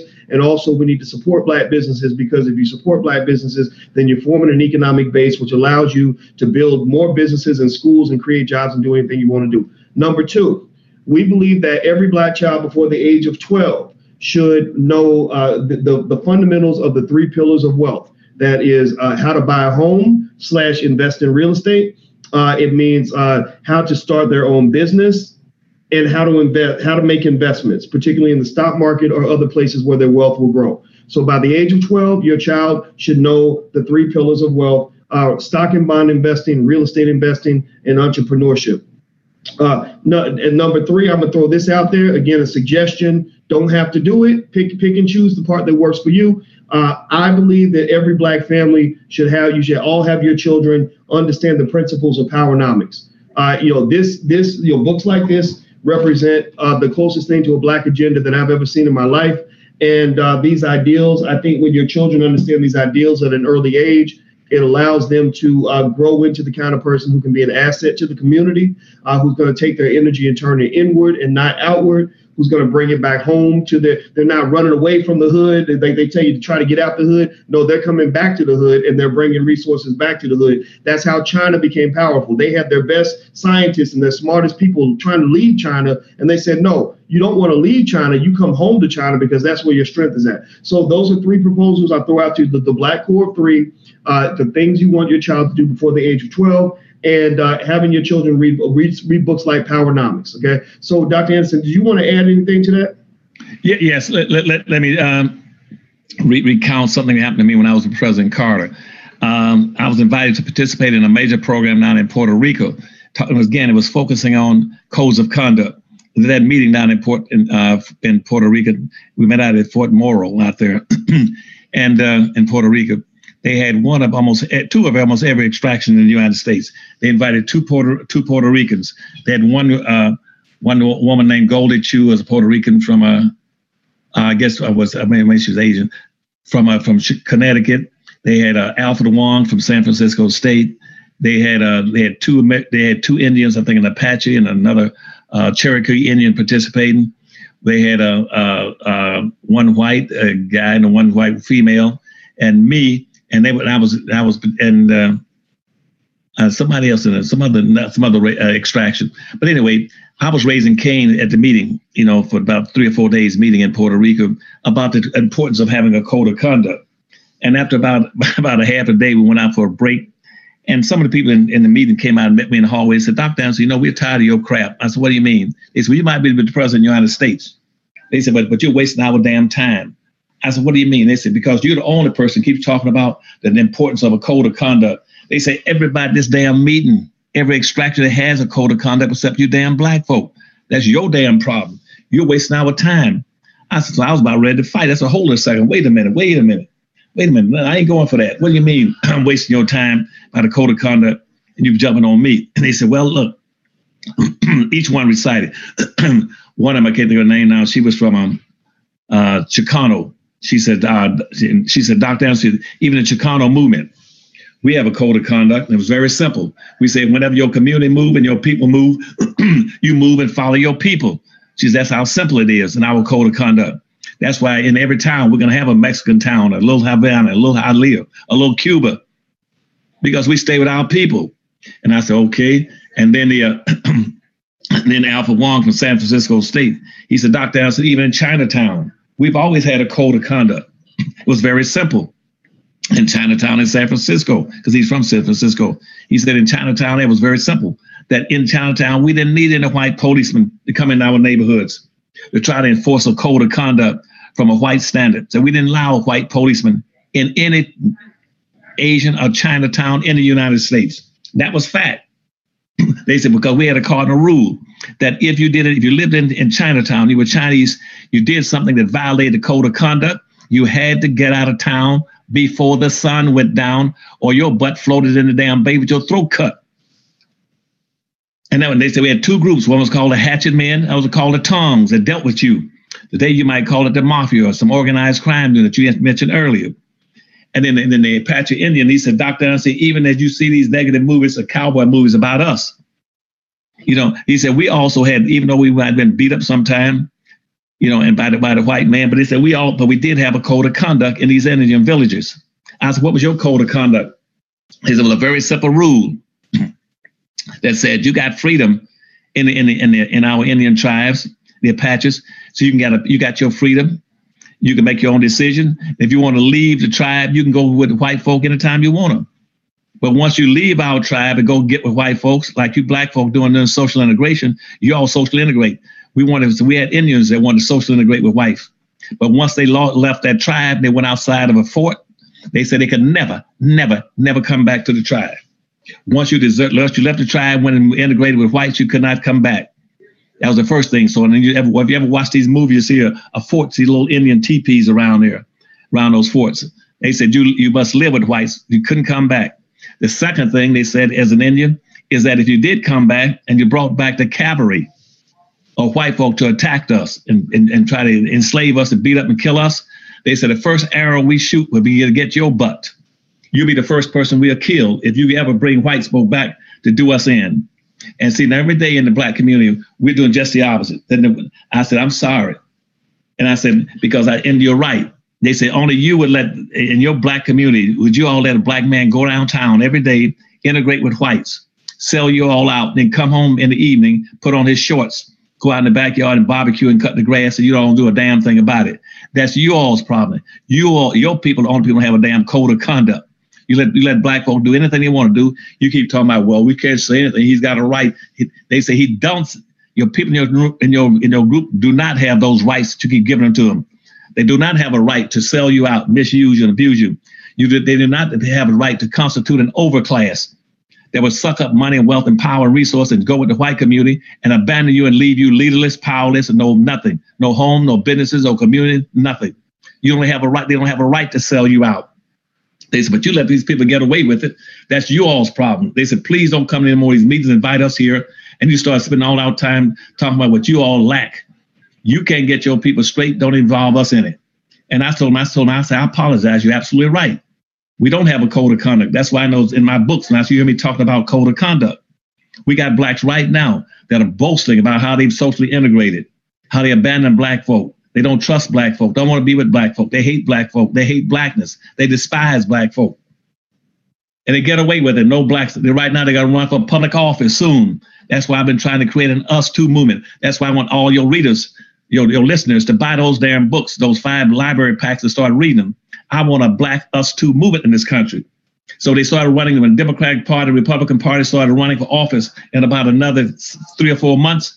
I would just say, no, we ain't going for it anymore. We got an us too movement. We're gonna put our own interests first. We got our own code of conduct to look at look after our own people, buy from our own people, support our own people, protect our own people, and put our own people's interests first. And don't come here talking about what you're gonna do for minorities and poor folk and people of color and gays, transsexual, handicapped, midgets, people with ingrown toenails and, and hemorrhoids. We don't want to hear about that crap. If you're not going to support black folk, do not run for our, for our for, in our community, get our votes. Every one of these blacks are going to run for the president watch. Everyone going to talk about what they're going to do for everybody but black people because they don't have a code of conduct. And we and they know you don't have enough money to enforce the code of conduct. If you're going to have a code of conduct, you must have an economic base to punish or reward those who violate your code of conduct. This is very important. I'm telling you at the end of your, your, your question about the importance of a code of conduct. To have an effective code of conduct and to you must have a wealth base beneath it where you can either reward or punish those who violate it. That's one thing I found out a long time ago in being in, in, in that in that meeting in Puerto Rico. You must have a, we don't have a wealth base. We're so busy trying to integrate and put up businesses in everybody else community and be consumers rather than producers and powers. We can't even come, we don't have a code of conduct. We couldn't even enforce a code of conduct because we don't have any money and wealth and power. All right, all right. So everybody heard that. Um, so, so the code of conduct, the first code of conduct I would suggest for everybody is uh, definitely within your household and the space that you control. Uh, create a code of conduct that's going to generate wealth and power. And then when you have wealth and power, you get to decide how things are going to happen in your life and in, the lives of others. Uh, everybody might not do it, and it's okay, uh, but you can do it. You can do it in your household. Um, I know I know that that was the decision we made in our house that we that we just have certain um, ways things are going to get done, and we're, we're we're we're getting off the grid. You know, for the most part, we're you know we're we're just not interested in uh, in in doing things the way they teach black folks to do things. You know, so so um uh, so I want to say uh, thank you, Dr. Anderson, for your time and everybody who's in here, I want I hope you guys will take a second and uh, give Dr. Anderson a digital round of applause. Uh, just just tell him thank you right quick, please, in the comments. Uh, please hit the thumbs up button, share button, hearts and likes on Facebook, all that stuff. Let Dr. Anderson know how much you appreciate it. Uh, Powernomics Thursdays every Thursday at 2 p.m. Eastern. Uh, my podcast, I usually come on here at 2 p.m. Eastern to go live. But if you want to get a text when I go live, uh, in case I go live at some other time, uh, just text the word voice to 31996. Text voice to 31996. Uh, also, if you want to go check out Dr. Anderson's books, uh, you can go to powernomics.com. He's got a library pack for $99. You get all five books plus a DVD. Um, again, this is a great uh, summer exercise for your children, for your family, uh, something that will bring you together, something that you will go back to over and over again as a reference for how you're going to build your own family empire. A lot of y'all, I don't know if anybody in here, I don't know if it, if it sounds white to me to admit that I love the show Game of Thrones, but I'm gonna just tell y'all right now, I love that show. And uh, in Game of Thrones, all you're seeing, if you you watch Game of Thrones, Dr. Anderson, yes. Uh, and I'll see you next week and tell them I, am gonna look see. I'm gonna go buy those books. I got to move this Us Too movement before the election started. About another, another two. I want you to surprise all these people who want to want to take black folk for granted in this society. All right, all right. Well, take care, Dr. Anderson. Thank you take so much. Now, buddy. I'll let I'll let you get on out of here. But but I, will okay. tell I'll tell you guys. Um, you know, with Game of Thrones, if you if anybody watches Game of Thrones, you know that Game of Thrones is basically uh, a bunch of white people fighting for power. And uh, if you watch Game of Thrones, one thing you'll notice is you'll notice that there is uh, that there are all these families, these families that have been around for hundreds of years, maybe thousands of years, and they all have codes of conduct. You know, like the Lannisters always pay their debts. The Starks have a certain way of doing things. You know, the Tullys, and and you have all these royal families, and everybody in their own house, in their own space, is a king. Eh, you know, they got a king, a queen, lords, the Lord of the North. You know, etc. And uh, and I'm gonna tell you, I, I think that for you, you may want to think about your house in the same way. Your house is a kingdom. You know, you're you are the king of that house. You are the queen of that house. You make the rules. You establish the code of conduct, and it's the code of conduct that keeps the house together, that keeps the family together. So, um, so just going deeper into what Dr. Anderson said, I'll talk to you guys for a couple of seconds here because uh, I know Dr. Anderson had to go, but uh, but I think this is worth discussing. Figure out what your code of conduct is going to be. Write some things down just some basic rules. You know, like for example, when I was growing up, my daddy was all about codes. You know, my daddy's a soldier. He's a, uh, and plus he's a police officer, right? So I mean, if anybody has codes of conduct, it's usually cops, right? Good or bad, right? And and and and because some of the cops are dirty, but then some of them have codes just so they can stay alive, right? So so ultimately, the idea of the code is not about morality and and and whether you like cops or don't like cops. It's about winning. It's about figuring out you know, like what's the best way for your family to win? And I'm gonna tell you, when, when I grew up, I remember my daddy would give us codes, codes of conduct, codes of behavior. One time, let me tell you a story. One time I was um uh, my, my my dad's friend uh, hooked me up with a deal on a new car when I was about 21 years old, and uh, and he was gonna give me a deal on the car. And I remember I called this man up to get to go meet with him to talk about this car and he wasn't nowhere around. And i called the office and i was like i was like well i'm supposed to meet with him today and he didn't show up and blah blah blah blah. And i'm talking to his white boss. And, and my father was like no nah, don't do that. You don't do that don't do that to no brother. Don't call his boss and, and complain like that. You know so he was reminding me about staying on code. Uh, in other codes are things like um, you don't steal from family. You know, if you got family, you know, so that might be part of your code. You might just tell your children, look, We don't steal from family. Don't stealing's wrong all the time, but when it comes to family, that's like some death penalty type shit. Like that's like you steal from family, that's as low as you can get. So I don't care how desperate you are. I don't care how much you're feeling like Cardi B when she's talking about I used to drug and rape and steal and rob, nigga, and blah blah blah. Well, if you going if you're gonna go Cardi B level and start drugging and robbing people or whatever, don't do that to family. You know, you do that to family, then you're gonna get cut out you're to get cut out of the institution. You get cut out of the family because you violated the code, right? Every institution has a code. Every family has a code. Uh, every group, organization, anything that's structured always has a code. So with your own family, figure out what your code is. You know, so our code was you stick by your siblings no matter what. If your brother or your sister done did something ratchet, uh, fine, deal with it internally, deal with it in house. You know, if I find out my brother murdered somebody, I'm not gonna go run to the popos and be like, oh yeah, officer, he's in the house. Go get him. No, I'm gonna go. I'm I'm I'm gonna be like, they're gonna be like, Where, where's your brother? I don't know. I haven't seen him. But then I'm gonna go find him and I might whoop his ass behind the scenes, right? But I'm not gonna go to the police and tell them where my brother is if I know my brother committed a crime. We gonna handle that as a family, right? So family sticking together could be part of your code. Don't steal from your relatives could be part of the code. Economically, uh, economically speaking. You know, if you borrow money from a relative, paying your relative back should be part of the code. Don't treat your damn relatives like they bill collectors. Anybody have that where you uh, you know y'all know that's a little little that's a little touchy issue for me because I don't have relatives borrow from me and then act like they forgot like they like they don't even remember like what I, I borrow from you. What are you talking about? Right? You know I'm talking about. They get amnesia and shit, but they know how to blow up your phone when they need money. And then, you know, and, and so so to me, I think part of your economic code might be if you borrow money from a relative, you pay them back first. Or we going to Big Mama. Big Mama gonna settle it. She gonna be the judge and jury and executioner up in that mug, and she'll hit the gavel down and say, "You need to pay your cousin back right now." Right? You don't treat your relatives the way you treat a bill collector or a debt collection agency. I, I understand. I know black folks. I'm telling you, if you if you know that feeling of, of the bill collectors calling and you, you just conveniently you memorize all the numbers so you know not to answer, right? That's fine. But if you're gonna do that, you do that to them, but you don't do that to your own. You don't do that to your own relatives. Seriously. And if you have relatives who do that, then what you do is you just tell them, look, you broke the code. I still love you, but I'm never you'll never get money from me again because in this family, you have bad credit now. Right now, your bill, your your credit score is now down to zero, which means we will only loan you zero dollars. So if you want zero dollars, if you want to borrow zero dollars and zero cents, then we can feel it. We can get you every time. But if you want to borrow more than zero dollars, like a penny, you're getting nothing because you broke the code. Why is it important to hold people accountable on code? Because codes are how institutions maintain themselves. It's like a basketball team that has a game plan. Every player's got to be on code. Every player's got to know what the strategy is. Every player's got to know how to run the offensive scheme. If one player's off code and doing his own thing, it messes everything up. You know, with New Edition, they have Bobby Brown. He everybody they all, he was off code, right? They all doing the same little dance. Bobby Brown's over on the side with his shirt off, wiggling like an asshole. They were like, "You're off code, bro. You're messing up the group because you're off code, right?" So ultimately, what I'm saying is that in our families, we got to have codes and we got to enforce those codes. And what you do is you start with your children because remember that when you are you have you and your wife, you and your husband, you and your boyfriend, you whatever it is. I ain't judging if you're married to your your kids' parents parents or not.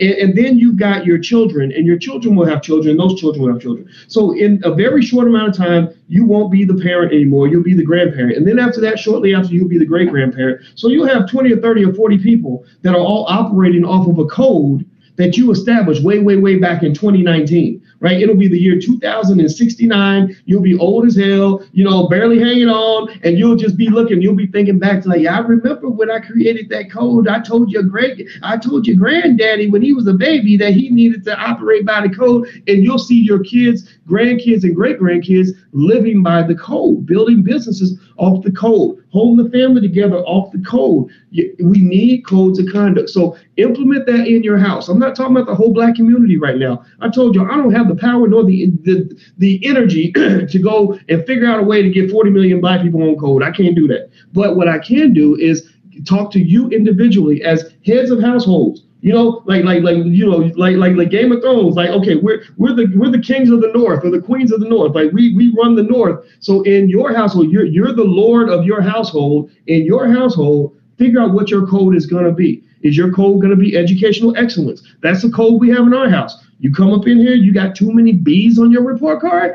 we gonna have a talk with you. You got a C on your report card, we really gonna have a talk with you and the teacher, and you're going to tutoring, and you have no choice, right? That's the code. You understand? Like, or the code between me and my woman. Ain't no, they, there ain't nothing that woman could ever do to me that would make me put my hands on her. That there's no excuse. I don't care. I could come home and find her in the bed, butt naked, with three sailors and a monkey, and I still have no excuse for putting my hands on her. That's our code. We don't put our hands on each other. We don't yell at each other. We don't do ratchet shit, right? So figure out what your code is going to be as a family so that that will be implemented into the culture of your grandchildren and great grandchildren. Uh, I want to say, Keith Baker, thank you very much for uh, your support uh, Keith, is you're gonna be a moderator, man, because I appreciate you back and you having our backs. Uh, let's see, uh, intelligence and wisdom with direction and action plans. Much love to you and Dr. Anderson. Yeah, I wanted to give you guys an action plan to kind of maybe give some examples on sort of how we're implementing these things in our lives right now. So, so let me repeat the code of conduct that I proposed earlier. Um, one of the codes we believe in in the Black Business School is what we call the Black Core of Three. The Black Core of Three says that Black people should educate our own children, create our own jobs, and support Black businesses. So that means that when it comes to education, I don't really, I'm, I'm not real concerned with making the public schools better. I hope that they get better, but really, I if I if I'm raising a child, I try to educate my child be above and beyond the public school. They're going to get education when they come home. They're going to get education from the web. Maybe I'm going to put them in a school like Freedom Home Academy International but I'm not going to let a white man be solely responsible for educating my child. Don't disrespect to white folks, but y'all just haven't done a good job. We all y'all failed miserably. Even though you've had billions of dollars in your pocket, you still can't educate a black child appropriately. um, create our own jobs means uh, I don't believe that a black person is happy or empowered or fulfilled when he spends his whole life working for the very same people who have oppressed uh, who have oppressed our people for the last 400 years. You ain't we don't we don't get ahead like that. We don't build wealth like that. We ain't moving forward like that. Ain't nothing good coming out of that. So we're gonna try Plan B. Plan B means we don't we want you to create the jobs. We will create the jobs. So so when a politician says, "Well, Dr. Woods, how do we get how do we fix the black unemployment rate?" You know, maybe we can go to these big corporations that are owned by white people and get them to get create more jobs for black people and more affirmative action programs and the the privileged Negro program and the give good, good give some more good nigga stickers so they'll hire more black people. And, and I'll be like, no, no, here's what you do. You create a multi-billion dollar fund and you, you allow smart people like myself or somebody else to take that $10 billion fund and to go into communities all across America and create urban business development centers. And in those business development centers, I know exactly what we would teach. We would take young children under the age of 12, and we, as well as their parents, and we would teach them uh, how to how to invest in real estate. We would teach them how to invest in stocks and bonds. We would teach them how to start businesses, set up LLCs, and then we would bring them together as a group on a regular basis and have economic church. And in economic church, they would not only get the sermon and the information, but they would also network with one another so that they can become their each other's customers. So so I'm creating a business business. You creating a business, I'm your customer, you're my customer. So we ain't got to worry about whether or not other people support us because we're taking our 1.3 trillion and we're supporting each other with that. You can't build an economy with 1.3 trillion dollars. I don't care what other people have told you. Uh, so the third part, so uh, educate our own children, create our own jobs, support black businesses. Um, it, you, conscious spending is very important. When people talk about being woke, you must talk about being economically woke, being financially woke, being woke as a consumer. Why? Well, because they want you to engage in unconscious spending. Unconscious spending is when you do things on habit, when you just do things without thinking about it. You're a zombie and you're like, oh, McDonald's, uh, Coca-Cola, uh, Target. You're just spending your money because you're not thinking about it, and they're literally robbing you. Well, think about it like this: an unconscious person is not a person who is aware. An unconscious person is not a person who makes good decisions. An unconscious person is not a person who's safe. An unconscious person is a person who gets played. an unconscious person gets victimized. An unconscious person gets raped, whether that is physically raped or financially raped, right? A lot of sexual assault occurs because the victim was unconscious, right? So why would you want people to allow you to, or to encourage you to not just let them make you unconscious, but you actually seeking to be unconscious? You enjoy being unconscious. You want to be unconscious. Why would you want to be unconscious when unconscious people get financially raped? Right? So so they are putting date rape drugs in your schools. So, so they can make you unconscious so they can rob you. They're putting date rape drugs in your media. so they can put your ass to sleep so they can rob you. They're putting date rape drugs into the environments in, in, in, in, department stores. When you go shopping, they do little things, the way the music plays, the way the, the imagery looks on the, on the thing. The LeBron dunking a basketball and you want to be like him, so you want to wear the same shoes he's got on. No disrespect to LeBron, but that's what how they do it. They want you unconscious because they want you. They know that you're easier to rob when you ain't woke. Who's easier to rob and kill and to steal from? A person who's wide awake, who's like, I, I'm on you. I, I, I took, I drank coffee. What you doing? Wait, wait, wait, wait, wait, wait. Why you got your hand in my pocket? Right? Like, who's easier to rob? That person or the person who's like, hmm, who's knocked out? Who's knocked out? Who's easier to rob?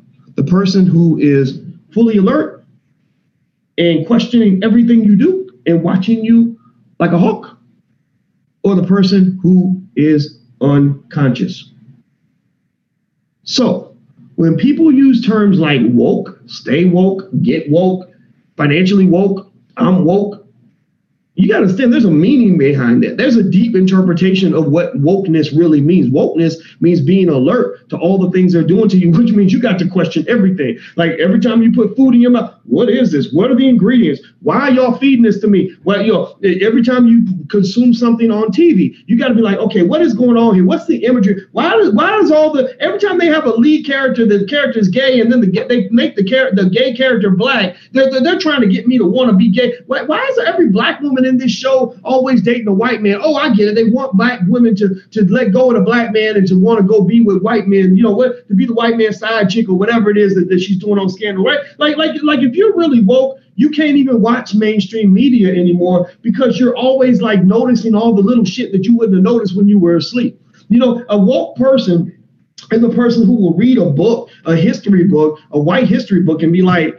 this is bullshit, man. Like Christopher Columbus did what? You know, right? But a person who's not woke, who's con- who's unconscious, is going to just suck it all in, right? And they're, they're going to get robbed and raped at every, every, behind every turn. so um, wokeness is a necessity. Um, it, it, going back to code, Black Core 3, educate our own children, create our own jobs, support Black businesses. You don't need to send your kids to a special school to educate your own kids. You can have a university in your house. I have a university in my house. It's called youtube.com. Another university is called google.com. you know, we, we, we will, we'll watch the science channel, whatever it is we want our kids to consume. We control that shit it ain't gonna just come from somebody that we don't know, right? It's too important. Their brains are too important. Um, second part of the code of conduct is before the age of 12, rite of passage, rite of passage for children before the age of 12. Every black child should know how to start their own business. Every black child, that, that means fill out the LLC form, know the basics of running a business, producer versus consumer, maybe uh, even get to the point where they can make their own money. Um, at least be aware of that. Uh, also, every black child should know how to buy a home, the basics of buying a home, like what that looks like, why it's more important to be uh, an owner versus a renter, like what, what the benefits are, how that works. Um, third, every black child should know how to invest in the stock market. I've talked to you guys about it a thousand times and explained that even monkeys can invest in the stock market. So if monkeys can invest in the stock market, so can your seven year old or your 10 year old. It ain't that hard to do.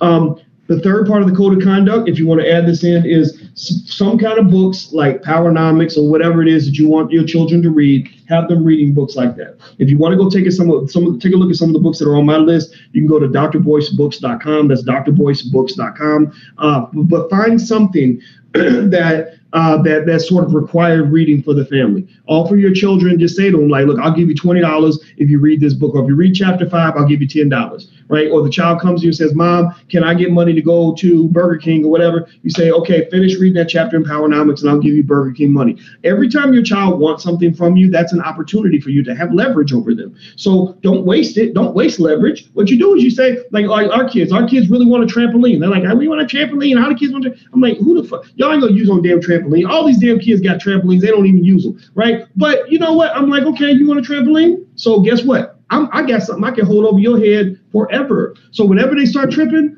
I'm like, well, you know, kids uh, that trip like that, that do things like that, they don't get trampolines. Or every time they don't want to study their financial flashcards, I'll be like, well, you know, I don't want to get a trampoline for somebody who's not financially literate. right? You know, or every time they, uh, they, they, you know, I want them to read something, I'll be like, well, you know, if you read that, you'll be a step closer to getting your trampoline, or I can put twenty dollars toward that trampoline for you, right? So figure out what they want and encourage them, incentivize them to do the things they need to do in order to get the things that they want. That's kind of how life works anyway, right? You smart people are the ones who get re- rewarded for that, right? So don't reward them for being stupid, don't reward them for being lazy, reward them for being hardworking, reward them for being smart, and also reward them for understanding and sticking to the code of conduct. They must have a code of conduct in that household for themselves, for their own life, the, a code of conduct for their family and a code of conduct for their community. Then at that point, you unleash them into the world where they're going to be exposed to all the BS.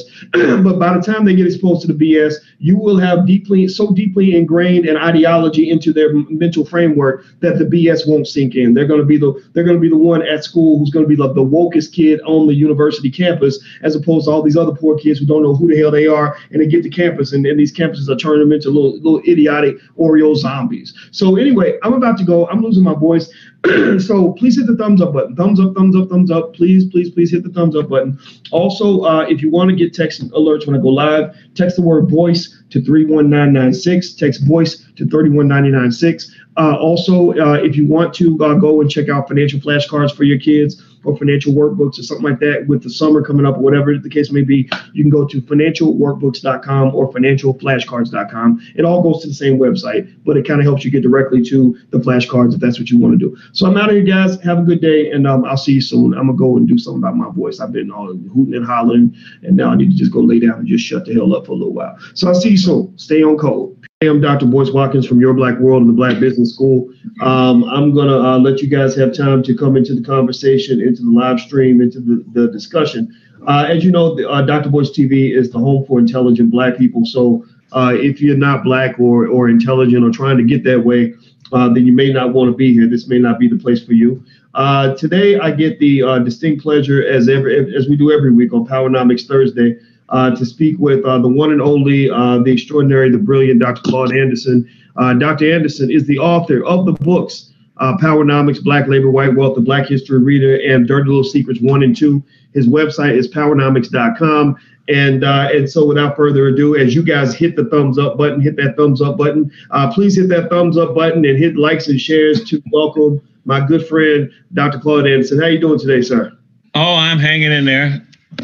Good, good. All right. So uh, uh, let, let's get started. Okay. So everybody, uh, as, as we uh, as we get started, everybody comes in here. Uh, we always do the city shout out, and I want you to shout out your business. Uh, this this platform belongs to the community, so I want you to promote your business uh, or promote your dream or just at least rep your city. So everybody on the count of three, go and shout out your city, your business or your dream, your city, your business, or your dream, or you can shout out all three. Um, I see Lisa's here, Conrad, Tahia Israel. How you doing, Tahia? Ricky Stone, uh, Anderson Hatch uh, from Philadelphia. I see uh, Master Ride, uh, Ricky Fontaine, Dr. Boyce. Please check my DM when you have a minute. Okay, sounds good. Um, let me see. I see Organized Bufu. I don't know what that is, but it sounds interesting. Uh, I see, um, uh, let's see, Chill Vision from Stockton, California, Mr. Lomax from Seattle, Nature Boy from Jackson, Mississippi. I love Jackson. Uh, Michael R. from Pittsburgh. Y'all got cr- crazy traffic. Y'all need to fix some freeways. Uh, Sonia from Lansing, Michigan. Reese from Inglewood. Sorry, I should say Inglewood. Uh, DeVale from Chicago. Uh, Bless Bind Mister from Tennessee. Cassandra from Arlington, Texas. Uh, I see, let's see, Bridgewater Investment Properties, Houston, Texas, from Anthony, uh, Detroit, living in Greenville, South Carolina, from Harlan, et cetera, et cetera, Newark. Uh, and I'm go. I can keep going down the list, but you know what I'm going to do? I'm not going to do that uh, too much because I want us to get to uh, the conversation for today. So please hit that thumbs up button as, as we begin the discussion. Uh, now, what I wanted to ask Dr. Anderson about today is something that um, relates. Uh, there's a chapter in Dr. Anderson's book uh, and the book is Powernomics, which it should be the economic Bible in your household. It should be one of the books. Uh, every black person should have certain books in their library, in their home library. You know how you, people would have a copy of Ebony and Jet magazine back. You remember Dr. Anderson? They would have Ebony on the coffee table and Jet next to Ebony, and everybody got to look at the Jet Beauty of the Week. I, I think that we should also take that up a notch, and everybody should have a copy of Powernomics in their living room on their bookshelf. Uh, and so, uh, and, and because it's not a book that you read once, it's a book you should read uh, a uh, hundred times and just keep reading the passages over and over again. Because uh, Ebony was right when they called it the Black Economic Bible. And there's a section in your book, Dr. Anderson, um, you know, and, and I and I go to your book. I reference your book a lot of times when I'm trying to understand certain things I might see in the community or uh, problems we're seeking to solve.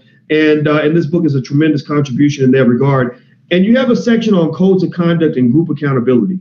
Um, now I'm gonna read a little bit in, in this uh, little uh, short passage in this, and uh, and just you know with your with your brilliance and your understanding of these concepts, because you you wrote the book on Powernomics. Um, I'd like to get your thoughts on on what I read in, in terms of helping us elaborate this and understand it and apply it.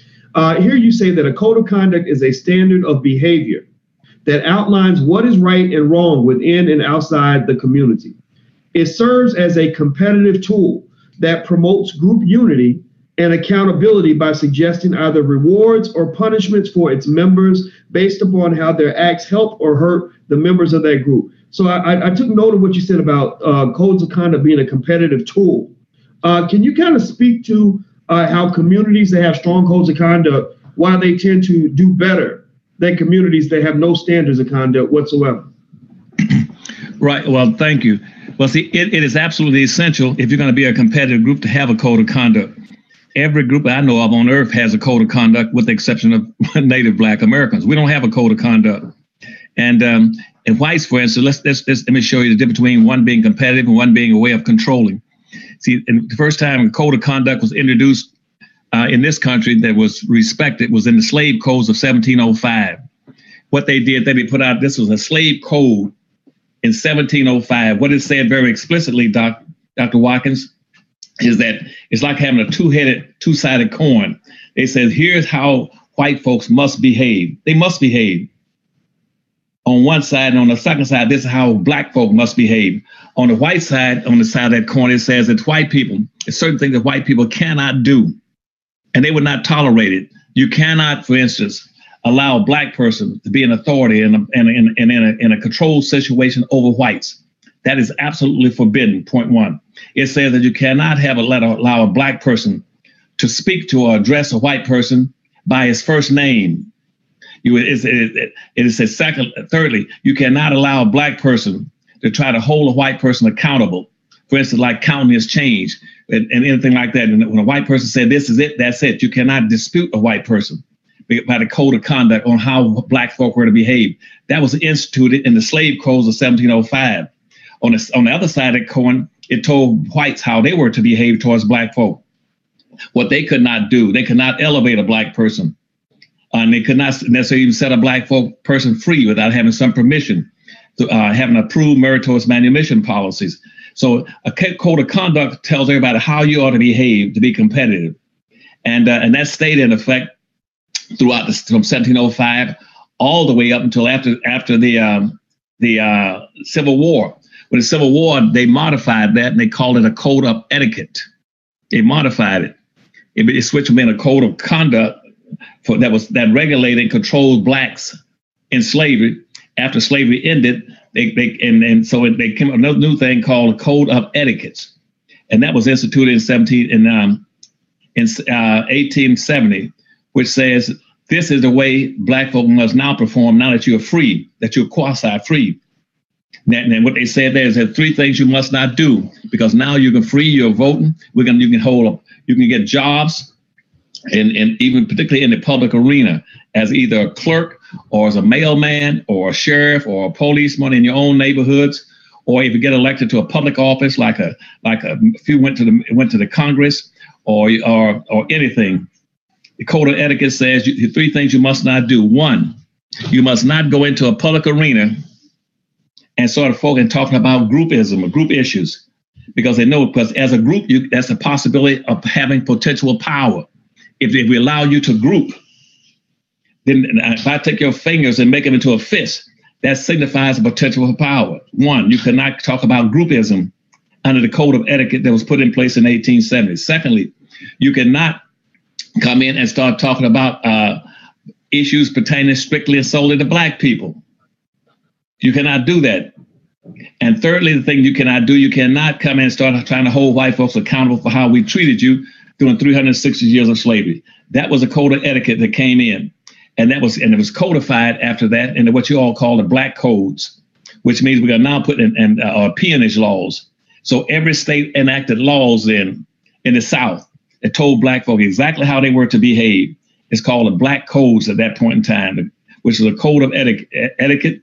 And uh, that was a nice way they put it. it was a code of controlling black folk in the South, saying you could not have a weapon.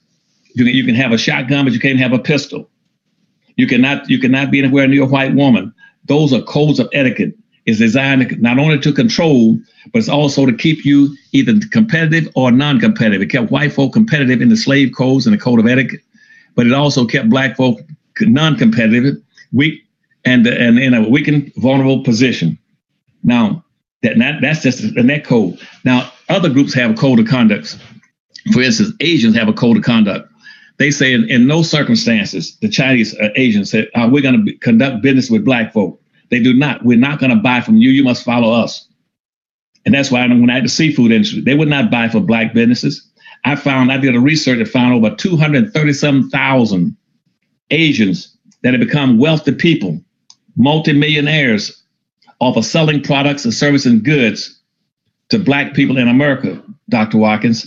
They have become multimillionaires because just by strictly producing and selling items to black folk in America. That means tennis shoes, socks, clothing, whatever it might be, toys, anything. But I could never find not one Asians, one black person would become a, a multimillionaire for selling something to Asians. And they told me repeatedly in Miami and in Washington, D.C., we do not buy from black folk. We will not hire black folk. It's against our code of ethics, our code of conduct. We won't do it. And then, and nobody. That's why they all boycott black businesses. That's why no no no ethnic groups going to come to your community and buy anything from you.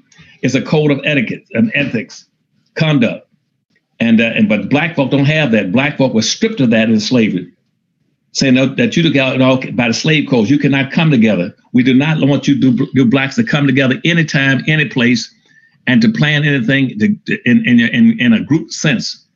They'll make you competitive. That's why. That's why they. Had, that's why. That's why during the '60s that we we had, we had all these different organizations, the FBI and everybody else that, that broke up the Black Panthers and all these black organizations, because coming together signifies power, just like it did for blacks as it did for the slave codes for whites. Mm.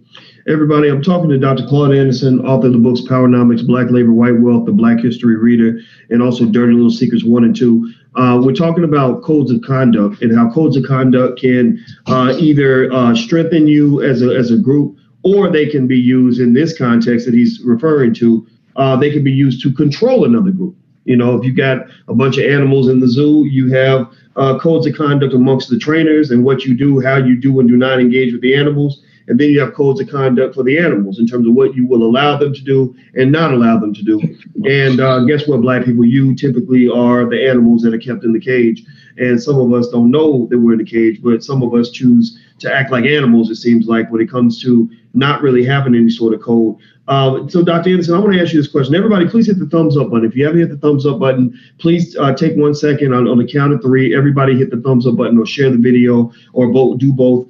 Uh, one, two, three. If you're on Facebook, please share it. YouTube, anywhere, please share this link. Um, so, so uh, Dr. Watkins, if you want me, I'll elaborate further on that point I just made to you. See, in America, that's why black folk don't have communities. See, we're the only group in America that do not have not one single solitary community. Because they have a community, that's a form of structure, a sense of community, a sense of peoplehood, a sense of togetherness. You cannot have you cannot have a sense of community if you don't have a sense of togetherness. And so when you have a code of conduct, it'll tell you how you to cooperate and how to have a community. That's why whites would build forts. Or if somebody was attacking them, the Indians attacking, they, they'll circle their wagons. So they were, they, they, they were, everything was based on your own common conditions at that particular time, your needs, your interests, and a self, sense of protection. And see, the blacks don't have any communities. And so consequently, you go across America, you find everybody got it but us. To have a community, you must have three, three uh, three elements in there. The first one is a is a wholly independent economic structure that will provide jobs, business, products, services, and goods for your own people and business opportunities for your own people. We have none. We have, we don't have not one community in America. We don't. All we got are neighborhoods. A neighborhood is not a community. So so so when if it's just a neighborhood, there is no code of conduct in a neighborhood. A neighborhood is go for yourself and do what you want to do with even if it's your neighbor. It says you have no alliance, you have no respect for, you no appreciation for. You don't support your neighbors in a neighborhood. Consequently, start talking about black folks shooting other black people. They shoot them because there's no code of conduct saying don't kill your own people. When, when you live in a neighborhood where, where you got all these abandoned houses, board up buildings, run down buildings, vacant lots with weeds growing up and fences and, and filth on the sidewalk and mattresses on the sidewalk, there's no code of conduct about cleanliness and respecting and appreciating your own people. So consequently, there's no code of conduct. So when one person they might have a television next door to you, when you, he leaves to go to the work, you break in his house and steal his damn TV. There's no code of conduct saying support and protect your own people or buy from your own people. And see everybody, and so we don't have a community, or we got a neighborhood. So there is no black code of conduct. You know, but to have a community, you must have a wholly independent economic structure, a code of conduct, and, and, and a body of elected officials who put your interests first and foremost. We don't have that. So consequently, blacks have no code of conduct. Their code of conduct, Dr. Watkins, I know I'm give you a long spiel. Their code of conduct is do your own thing for yourself. That's that's the code of conduct for black folk. That's why you can be a member of the black overclass. They don't give a damn about you. And if you want to shoot shoot somebody, go into any black community. They'll, they'll kill another black at the drop of a hat because there's no code of conduct saying you don't shoot and kill your own people. And then, but but and that, that's why Jews stick together, Arabs stick together, Hispanics stick together, American Indians stick together, and black people stick each other. Wow. Well, well, I'll tell you what, Dr. Anderson, it's uh, that's that's um uh, a lot of honesty. This this really you know kind of hitting us hard. Tell tell me uh, what if, if this resonates with you guys. Uh, uh, yes or no? Let us know what you think. Uh, throw in your two cents. Um, I see Leon's from South Central uh, you know, where you've got a lot of people in South Central that have that maintain the code of conduct, but you have a lot of people that don't maintain the code of conduct, and that's why we lose important people like Nipsey, Nipsey Hussle, whoever, um, uh, you know, or whoever else. I mean, there's, probably somebody else who died this week. We just did, we just don't know anything about it. It wasn't covered in the media. Uh, so, so Dr. Anderson, uh, you mentioned that a an independent economic structure is one uh, one thing that differentiates a neighborhood from a community. Right some other uh, factors, characteristics that uh, that will help us identify just what we want to aim for if we, if the goal is to create a community besides besides independent economic structure. What else would a community have? I'm sorry. So answer that last question again now. Oh, sorry. sorry. Uh, in addition to an independent economic structure, what are some other signs that you actually have a community versus just a neighborhood? Right. Well, see, in the code of conduct, the code of conduct will say it tells you what, what to buy, who to buy from, who to support, who believe in, who to trust, who to fight for, who to protect, and who to align with. That's your code of conduct. That's why I'm not, when, when blacks come down to Washington, D.C. and they go over to Chinatown, let me give you some examples. Again, some of the more prominent ones I know about. You go over to Chinatown, you tell the Chinese merchants, say, look, I'm a black person. I'm selling warehousing products and services, and uh, I want to like to sell you some of it and I can sell some of the same commercial products you got on your shelves right now in your stores. This is meeting with the with the with the Asian merchants right here in H Street in Washington D.C. Watch the code of conduct now. They come out and meet in a room, and these and the blacks say, "Look, we like to sell you those same products you got on your shelves, and uh, we like to want like for you to buy some from us." The Asian, you know what the Asians say in the code of conduct? I'm sorry, we can't do that. Said, why? They said, because uh, because we're not interested. And so what the blacks would say, well, okay, we'll give you a 25 to 30% discount on the same Cheerios and and and what and the sodas, the bottle pop, whatever you're buying. The agents say we're still not interested. And what the blacks will say then? we don't understand that. Why is it that we come into your community and sell you the same products, the same goods, and give you a 25 to 30% discount? Why is you won't buy our products? You know what the Asians say? Because it's against our code of conduct. In our com- in our community, we only buy from our own people. Only you black folk will buy from any and everybody because you don't have a code of conduct. That's why right now you you got a you got a 1.3 trillion dollar income, and you spend 98 percent of that money outside your own community. You don't buy from your own people. You don't practice group economics. As Asians, we do. We keep all that money. We don't come into the black community buying anything. You come into our community, come to Chinatown. We come into your community, extract your money out. We impoverish you by coming in and setting up businesses and extracting it out.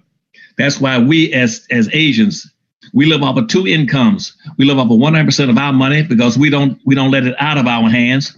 And we come into your community and take another 98% of your money out. through Chinatown restaurants, China grocery stores, and cleaners and laundries and everything else. And the, and the same thing is that you know Carl Nelson, don't you? Carl Nelson ran into the same thing down in Miami. He went to meet with a, one of the biggest, richest Asians, Chinese, down in in uh, in Miami. He went in to sell time on the Mystic Radio that Stevie Wonder owned. He went in to sell the guy some radio time. And the guy showed showed Stevie, I mean, showed Carl this big five foot, five story building, luxury, just pure luxury, luxurious office space. And after he showed Carl around how he became a multi billionaire, so Carl said, How did you do it? He said, I'm the primary distributor of foodstuff, services, and goods into the Caribbean islands with all the black islands, Jamaica, Virgin Islands, Bahamas, Bermuda. We sell you, we sell blacks all the products in those islands. You black folk buy from us and primarily from me as a Chinaman in your grocery stores. And what you need, you get it through me. He said, Now, what can I do for you, Carl Nelson? And for Mystic Radio and, and Stevie Wonder, Carl said, All I want to do is to buy, want you to buy a little time on, on, our, and on, our, on our radio station for advertising. The Chinaman said, I'm sorry, Carl, I cannot do that. And Carl said, Why not? He said, Because that's against my code of conduct. He said, In our culture, because we have a culture that passes on our code of conduct. You don't have a culture. You don't have a conduct, code of conduct. He said, in the in the Chinese culture, that the that the rule is that the white that the China man must never follow the black man. The black man must always follow the China man. Man, so I cannot buy any time on your radio station. He said because we our culture wouldn't allow it. Because in our culture we got a code of conduct says take care of your own people, your own race, your own family first and foremost. That's why we live together. You all scatter. You all integrate. We don't integrate if we can help it. That's why we got a Chinatown in every city in the United States. You all have nothing, zero. You're busy trying to integrate and go backwards. You don't practice. You cannot, ag- if you can't aggregate, you can't get power. And then when you don't have a code of conduct to help you. Well, everybody, I'm speaking to Dr. Claud Anderson, author of the books Powernomics, uh, Black Labor, White Wealth, uh, The Black History Reader, Dirty Little Secrets 1 and 2. Um, I see you in there, brother. He says, uh, Uncle Boyce, your content has been truly life changing for me. Uh, well, I, I appreciate you. Well, you know, y'all y'all been life changing for me because, uh, you know, uh, back in the day, professors like us, you know, both of us being black men, uh, both of us being scholars, you know, we're not we're not basketball players, rappers, or criminals. So white folks ain't gonna give us no airtime. Uh, you you all are the people that support us. You're the ones who believe in us, and without you, we're nothing. And I will never ever forget that.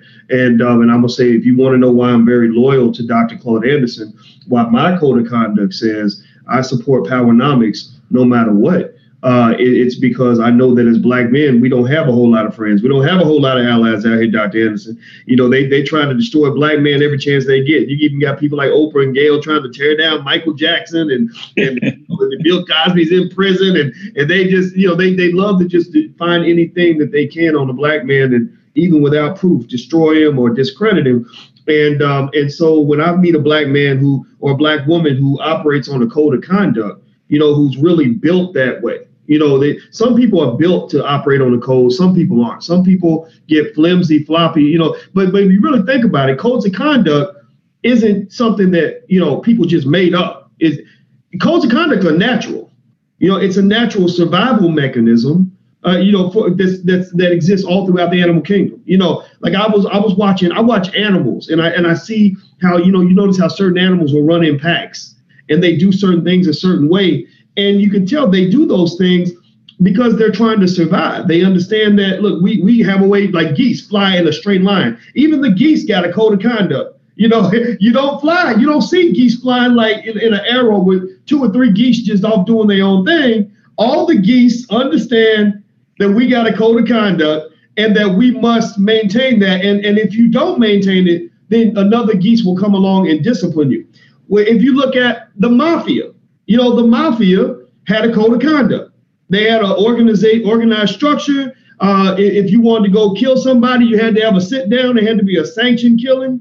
Uh, if somebody got killed in an unsanctioned fashion, they'd have another sit down. If you talk, if you got if you got arrested by the police, you ain't supposed to talk or we'll come kill you. You know, and so so you know, codes of conduct exist everywhere. Every what I find, Dr. Anderson, is that every living, breathing, uh, successful organization or group usually has a code of conduct that holds it together. Even if we if we all, all go all went and went to work for Bank of America, Bank of America is a corporation which is pretty much kind of like a, a economic version of a gang. You know, and basically Bank of America, when you walk in the door and you say, I want to get money from you, they say, okay, well, here are all the lists of rules and regulations that we have for all of our employees, and you need to sign this. This is your code of conduct. And if you violate that, you're going to be out because we know that maintaining that code is important for the survival of what we're trying to do. You know, uh, another example, Dr. Anderson, that comes to mind is I remember uh, in 1996, there was a time where uh, Kevin Garnett, who was as a former NBA player, he got this massive. He he went into his contract negotiation. He was a free agent, and the Minnesota Timberwolves wanted to keep him so bad that they gave him an insane amount of money. They they started paying him 21 million dollars a year, where the average player at that time wasn't making nothing but maybe five or six million a year. Even the superstars wasn't making more than 10 million a year. They gave him 21 million a year. So all the team owners freaked out. They said, no, no, no, we got to have a lockout. You know, lockout is basically like a strike, except the owners are the ones who are locking out the players, right? So the, right then, the NBA team owners had a lockout. Now let me tell you why the uh, the owners. In, there, it was a prolonged negotiation. I don't know if you remember. It was all over the news. It, it lasted for months, and in the negotiation, the owners obliterated the players. The owners kicked the players in the butt, and the reason they kicked them in the butt is because when the owners got together and negotiated with the players, when they had their meeting, David Stern, the commissioner of the NBA, put the owners on a code of conduct. From the very beginning, he said, now the players are going to be all over the place. You got the players making lots of money, like Michael Jordan. They're going to want one thing. The players who, who, who are behind on the rent, they're going to want to sign a deal real fast, and they're going to be a lot of lot of confusion, a lot of dispersion in terms of who wants what. They're going to be fighting. He said, you all must be on the same page all the time, every day. So he gave them a code of conduct. He said, every time we vote, it must be unanimous. It must be unanimous. And so every time they would vote on what they wanted to do or wouldn't do, it was always unanimous, always unanimous, always unanimous, always on code, always on code. And the players got obliterated because they could not compete with the owners. You know, so when I think about code of conduct, I think about all the institutions that get held together because that's what black people are missing, right? One thing we're missing is we're missing unity, right? We're missing organization. We're missing institutions. Why? Well, because we're missing codes of conduct. So when I think about uh, other institutions, like I think about my parents, my parents uh, were like an institution to me. You know, marriage is an institution. And my parents always had a code of conduct. They did not argue in front of the kids they never let us know that they disagreed on anything. You know, even if my mother did not agree at all with what my father was doing, she would say, "Do what your daddy said." You know, same thing, same, but vice versa. You know, and, and and I didn't know till 20 years later that there would be things that they really disagreed about, but they said we're gonna stay on code when it comes to dealing with the kids. So so I just think about all these examples of codes of conduct, and it almost seems to me like you're saying that uh, that maybe this is something we should teach children. In fact, I think you said it in Powernomics that right. in the community we must start teaching the children while they're young so they'll grow into the code of conduct. Can you kind of speak to that a little bit? Yeah, yes, and see, a, a code of conduct radiates and emanates from your culture. And see, we were, we were intentionally stripped of our culture. When they put black folk out of Africa on those boats, they stripped them. They stripped them of their religion, their language, their history, their orientation, everything. They were stripped down. They had no, they stripped of their culture. The only culture in America is not African American culture. What we got now, we have a fabricated culture. We, we learn we learn how to survive. Culture comes from behavior patterns that are acceptable and favorable to you that you pass from one generation to the next. That's what culture is. Tell them forget all that BS people how people define it. Culture is nothing but acceptable behavior patterns that are beneficial for a group of people to protect themselves and to compete. And they pass it down to the next generation. That's what culture is. Now, see, white folks stripped black folk of their culture, and and and, and that's why they came up in the seven, 1705 that slave code. Now, by 1710, remember this now, 1710, which is about five years later, guess what they did? They instituted what I told you before called meritorious manumission. They said, now we're gonna we got now that we stripped you of your culture, And now we taught you our what our culture is for a white male, how he is to treat you. It told white folk how to treat black folk. Then in by 1710, they said, now here's what we're gonna put on black folk. It's called meritorious manumission. And the meritorious manumission was based on three things. One is that you can be set free if you drop your culture and start accepting the white our culture. And you do this one, you work hard and diligently and try to help white folks to be productive on these plantations and making money. You try to enrich whites the best you can. That's why black folk will go around the plantation boasting, bragging about how big and how rich their plantation, white plantation was owner was. They love being associated with the biggest damn plantation and picking the most cotton and making the, that was the first thing. Secondly, they boasted in making the black and making white folks rich. They got an incense of gratitude out of it. You got black folk right now. Go like to look at Black Enterprise magazine. A successful black is a black who gets appointed to the highest level inside a white corporation. It could be Michael Caine over Godfather Pizza. He's the damn president in his damn pizza shop.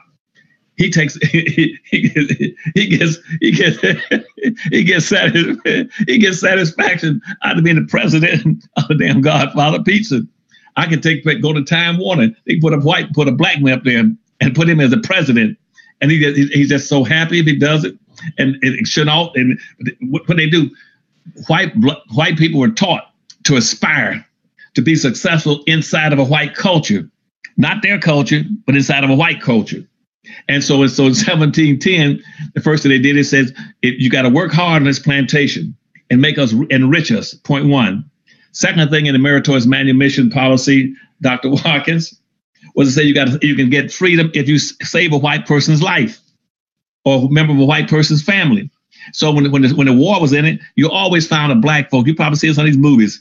He willing he'll go run and throw himself throw his butt on the sword to, to save a white person. Go look at the Alamo uh, on the, the Alamo movies when when when when when, when the Mexican gets ready to stab uh, John Boyd. Guess what? The black man runs and throw his body in front of his so he can get stabbed. They were taught to, to if you save a white person's life, you get meritorious manumission. That was built into them to work hard. The last thing was built into the into the code of conduct and meritorious manumission was to say that you would squeal on, tell on any black person who was conspiring or dreaming or hoping to escape and run away or be uh, participate in a slave revolt. And so consequently, when I went and checked up on possible, uh, you would squeal and tell a white man. I checked the 100, 310 supposedly reputable attempts for blacks to have slave revolts, slave insurrections. Guess what? a black person squealed in every damn one of them because the slave code, because the, the white code had taught him, the, the, the code that the meritorious manumission policy told him he was obliged to tell on and squeal on his own people and prevent it. So anytime you see a black person all through history, always want to plan something to help black folk, you go to any meeting, there's always one or two in there, provocateurs sitting in out in the crowd, just can't wait to go get on the television and tell white folk what you're up to. That's a part of the culture. They've been enculturated to do that, to sell their own people out, to break in their own neighborhoods, their own neighbor's home. Go to any major city, urban area. They get pissed off, want to kill somebody. They're gonna run kill their own people. You know why? Because they're seeing they're seeing black folks through the eyes of whites. If whites have no respect for black lives and black lives don't matter, and and, and black man's been enculturated to see his own people through the eyes of whites, then what does it mean to go, go kill another black man? So there's no there is no code of conduct for, for blacks. And you're talking about about uh, like the Asians, just in running my seafood factory. And after, after nine years, you know who would buy all my seafood? Asians. They came, they would come down by 10 or 15,000 pounds a week. But guess what? They would tell me, said, Dr. Anderson, you're the only black person that we'll buy from. We don't buy anything from no black folk. We don't buy from black folk. They say if you ever on a Saturday, on a Friday night, you can see all kind of blacks saying, "Come on, baby, I'm going to take you out to Chinatown." They say you're never, never, never, never gonna see a black, a white China man go and tell his wife, "Put your best clothes. I'm going to a nigger town, go to a restaurant." They ain't gonna do it. They're, that's why the Wall Street Journal put out a put out a big story saying the Chinese said under no circumstance they're gonna buy from black folk. They're never gonna hire the black folk. You can go to any Chinese business or Asian business, they're not gonna hire the black folk because their code of conduct that you're raising the issue about. Their code of conduct is forbids that. That's my point. Wow. Uh, everybody, I'm talking to Dr. Claud Anderson, and uh, as you know, he's the author of the books Powernomics, Black Labor, White Wealth, The Black History Reader, and also uh, Dirty Little Secrets 1 and 2. Uh, these books should be in your library. If you have not uh, taken a look, I hope you will uh, have it in your heart to go to powernomics.com and go take a look at what he's got there. These you can buy the books off powernomics.com, and uh, it's you know I mean you think about all the things that you could spend a few dollars on that are complete waste of time, complete waste of money that won't give you anything. Uh, these books I can say I can certify they changed my life in terms of really shifting my perspective. And I and I think I thank God that somebody wrote about this stuff. You know, there's a lot of Black history, um, Dr. Anderson, that you've covered in your books that that we never learned in school. Ain't nobody gonna they gonna tell us this on TV you know and so when you have somebody that, that took that time to spend thousands of hours researching and detailing very specific things uh, you know that, that we can utilize in the battles for things like reparations or the political conversation or economic development conversation uh, you know that's an asset that will that can last us for hundreds of years you know this is i mean this is something that uh, you know when i think of when i go back to powernomics i feel like i'm looking at you know just something that's um, just structured. You know, like I just, just turned a random page and here you you know when you break down uh, the original role of black churches and things like that, you know, you got I got stuff underlined and all that. It's because I keep going to the books and I keep on finding stuff that is relevant to exactly what we're dealing with today. You know, like Black Labor, White Wealth. This book is ripped up. You know, I done, I done scratched it up, wrote it because I end up reading the same passages over and over and over again and what I do is like putting together a jigsaw puzzle where I'm taking what's in the book and I'm connecting it to what I'm seeing in the black community because we're all trying to figure this puzzle out. And uh, and so I think this is a, a 100 year project. This is not something that's going to happen overnight.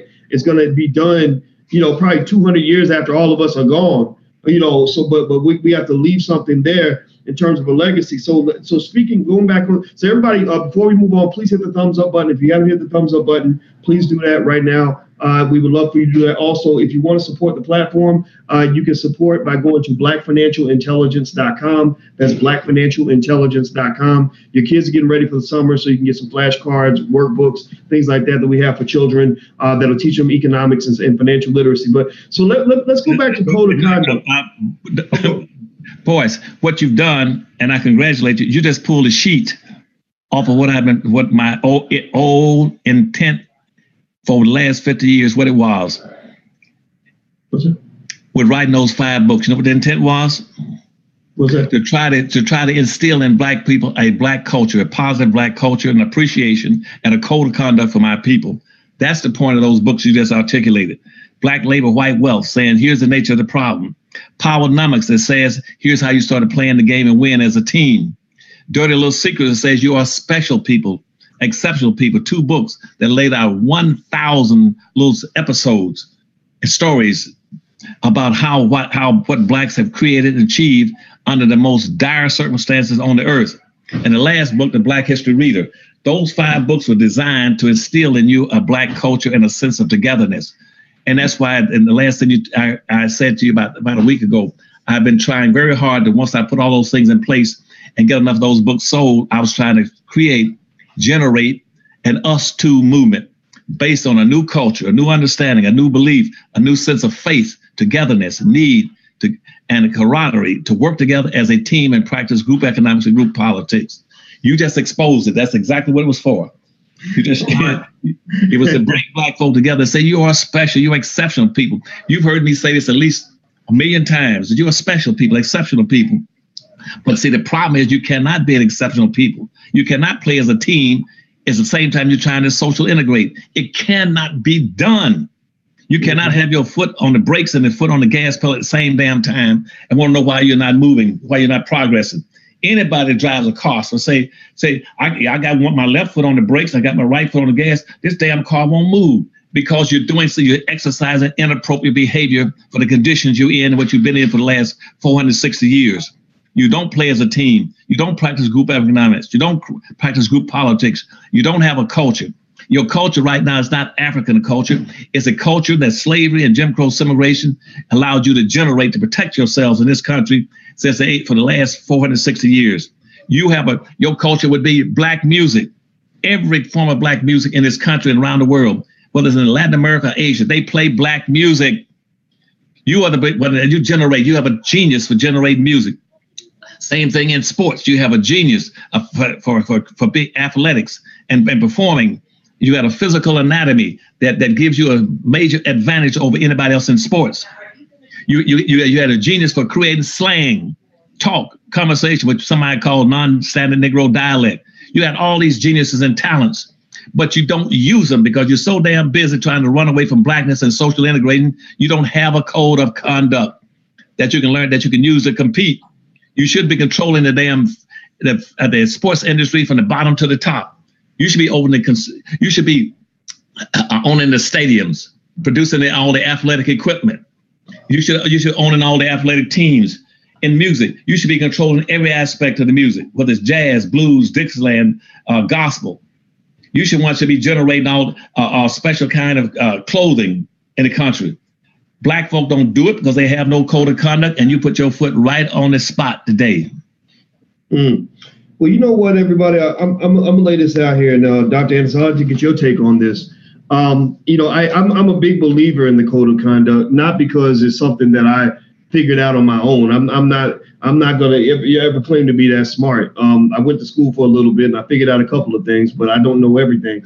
But uh, but but again, you know, we talked to you guys earlier uh, even animals understand codes of conduct. You know, when you when you see birds flying in an arrow like that, that's because the birds have an innate code of conduct that they understand that it just came from Mother Nature, from God, or from a higher power, whoever, wherever it came from. You know, we know these birds didn't go to college; they didn't read Powernomics. You know, the birds didn't have somebody teach them how to have a code of conduct; they just have it right? Uh, and in fact, Dr. Anderson, there was this week there was um this goose. I, I was telling everybody the story about this goose.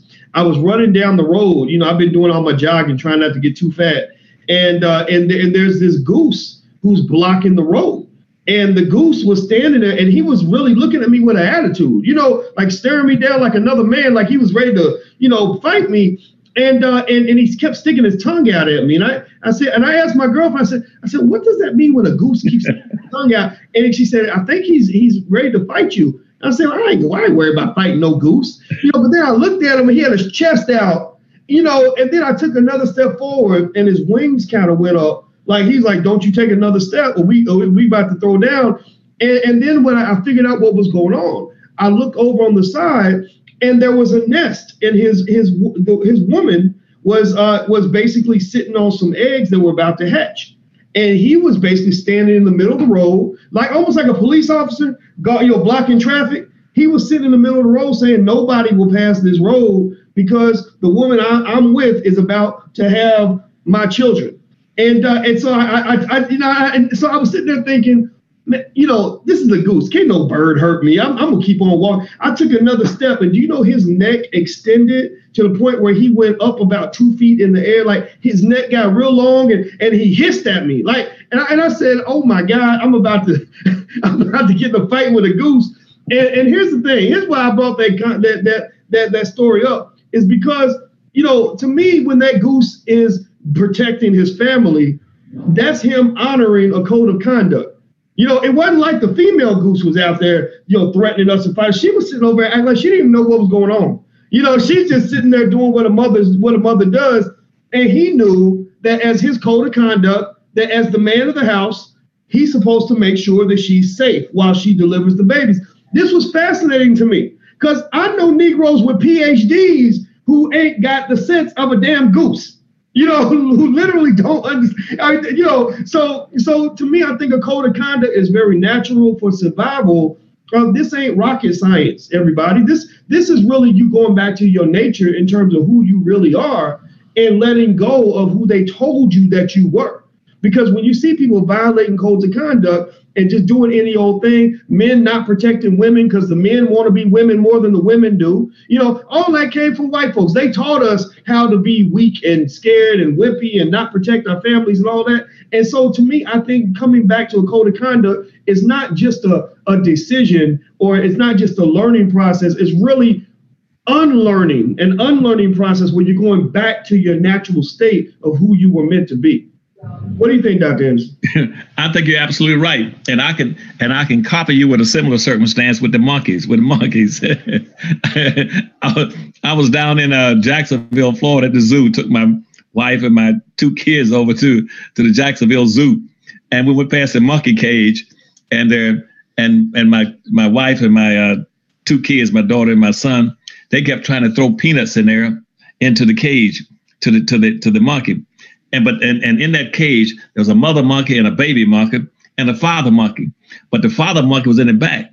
He kept beating on the shaking about he kept running around beating on the walls climbing the walls and shaking and screaming showing his teeth. Because because what so what the um what my uh, daughter and my kids and my wife was doing they were giving peanuts to the kids uh, to this baby monkey and to the mother monkey. The mother monkey kept looking back at the father monkey like this you know, see what he's up to. He's just he's just screaming, ah, yeah, making all kind of noise noises, shaking the cage, and uh, and so and, and she kept looking at the back, trying to pick up the peanuts and give it to the baby, and uh, and we were just saying, I wonder why he's raising so much hell back there in the back.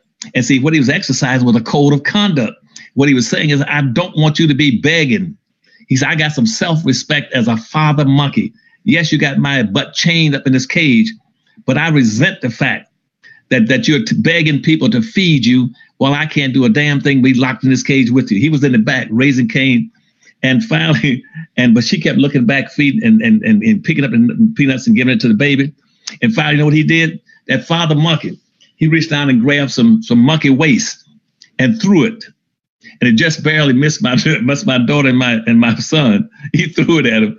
And what he was saying is, he and, and I and I told my wife, I respect that damn monkey the father monkey. He said, he says, get the hell away. He, and he said, I don't want my damn wife and my my kid begging you for some damn food. You got us locked up in a damn cage. And see, black folk never got that through, and I never understood that. That's why right now, all this thing with transsexual and gayism, black folk don't stand up. They don't understand that the black male is an endangered species. His ass is grass.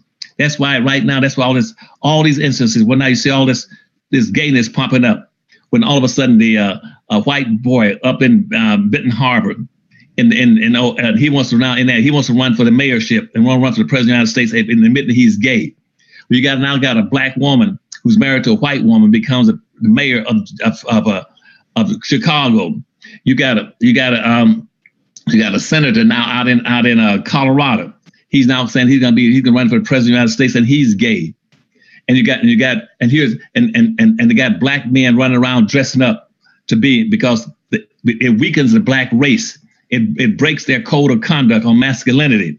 It puts him in a non-competitive position with whites where he can't defend himself or his family or his children. And now they just now here come Morehouse College down in Atlanta, Georgia. This is totally disrespectful. They now said they, they now come out with a new policy where they're going to start um, open their doors from so they uh, to new people coming in, where traditionally Morehouse was a was a college um, for black men. It was a male school for black men, for, for raising black men who can be intellectually competitive with whites. And now what they said, they open that door, so they're to start bringing in gays and transsexuals into Morehouse College in, in Atlanta, Georgia. That is totally insulted. That is that. And so what I'm saying to people is that the black male, not only they shooting one of you every other week and killing you, they're beating you all the time by the police. They're not dragging Indians and beating them and shooting them. They're not dragging white females. They're not dragging. They're not dragging Asians, uh, Arabs, and beating them. The only the, the endangered species in this country is the black man. Anything that you do that that weakens or destroys your code of conduct, your masculinity, your ability to protect and produce for your own people, you are killing yourselves. That's a form of suicide. That, that homosexuality is a form of suicide. It's inappropriate behavior, and they're trying to get black folk to accept it. So they'd be so damn weak, anybody can kick their ass for the rest of their lives. But black folk won't come out and say, no, we got a code of conduct. We are only going to accept appropriate behavior, not inappropriate behavior. We're no longer interested in the black community and the black neighborhoods being a Sodom and Gomorrah. Everybody, uh, this is Dr. Claud Anderson, author of the books Powernomics, Black Labor, White Wealth, The Black History Reader 1 and 2. Uh, his website is powernomics.com. Uh, I hope that you will go and take a look at powernomics.com uh, because uh, these are the books that I believe every black child should read. Um, and so, uh, what I think we can do, hit the thumbs up button if you haven't done this. Please hit the thumbs up button. Uh, also, if you'd like to uh, support Intelligent Black Media, as we push Intelligent Black Media throughout the world, please feel free to go to intelligentblackpeople.com. That's intelligentblackpeople.com.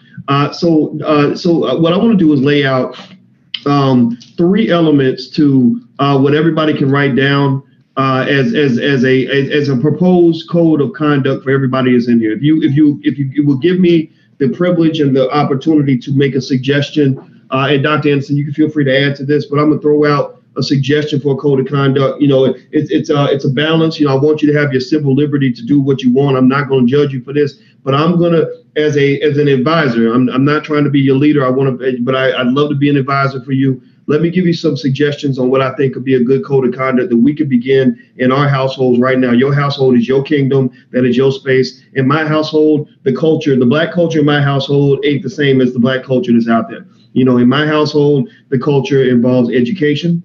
Uh, in my household, the culture involves financial literacy. Uh, in my household, the culture involves black people loving each other and supporting each other, and not no foolishness, domestic violence, or ignorance, anything like that. Why? Well, because in my household, I'm the king. In this kingdom, I am the king. I am uh, Joffrey from Coming to America, and my face is printed on the money. Okay, so the same thing is true in your household. In your household, you are the king, you are the queen. You define the culture, you define the codes of conduct. You are going to build your family empire. So let me make uh, three quick suggestions so that everybody can have something to take home with them. Uh, and you can write this down if you got a pen nearby. Write this down. I'm gonna make a suggestion on some codes of conduct you may want to consider and implement. This is what we believe in. This is what we do in our house. Number one, we believe deeply and we repeat uh, incessantly to the point of brainwashing what we call the black core of three. If you know the black core of three, please state it. I'm gonna start having you guys or asking you guys, inviting you to state the black core of three. We believe, in, uh, it, and this is the foundation for the Black Business School, everything else.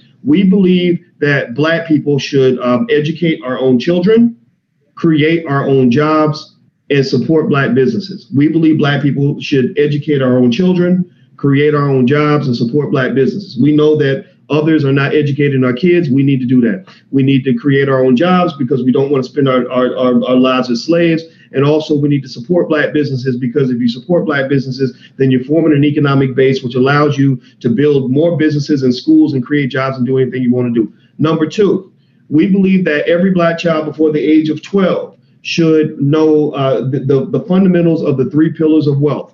That is uh, how to buy a home slash invest in real estate. Uh, it means uh, how to start their own business and how to invest, how to make investments, particularly in the stock market or other places where their wealth will grow. So by the age of 12, your child should know the three pillars of wealth: uh, stock and bond investing, real estate investing, and entrepreneurship. Uh, no, and number three, I'm gonna throw this out there again, a suggestion. Don't have to do it. Pick pick and choose the part that works for you. Uh, I believe that every black family should have. You should all have your children understand the principles of powernomics. Uh, you know this this you know books like this represent uh, the closest thing to a black agenda that I've ever seen in my life.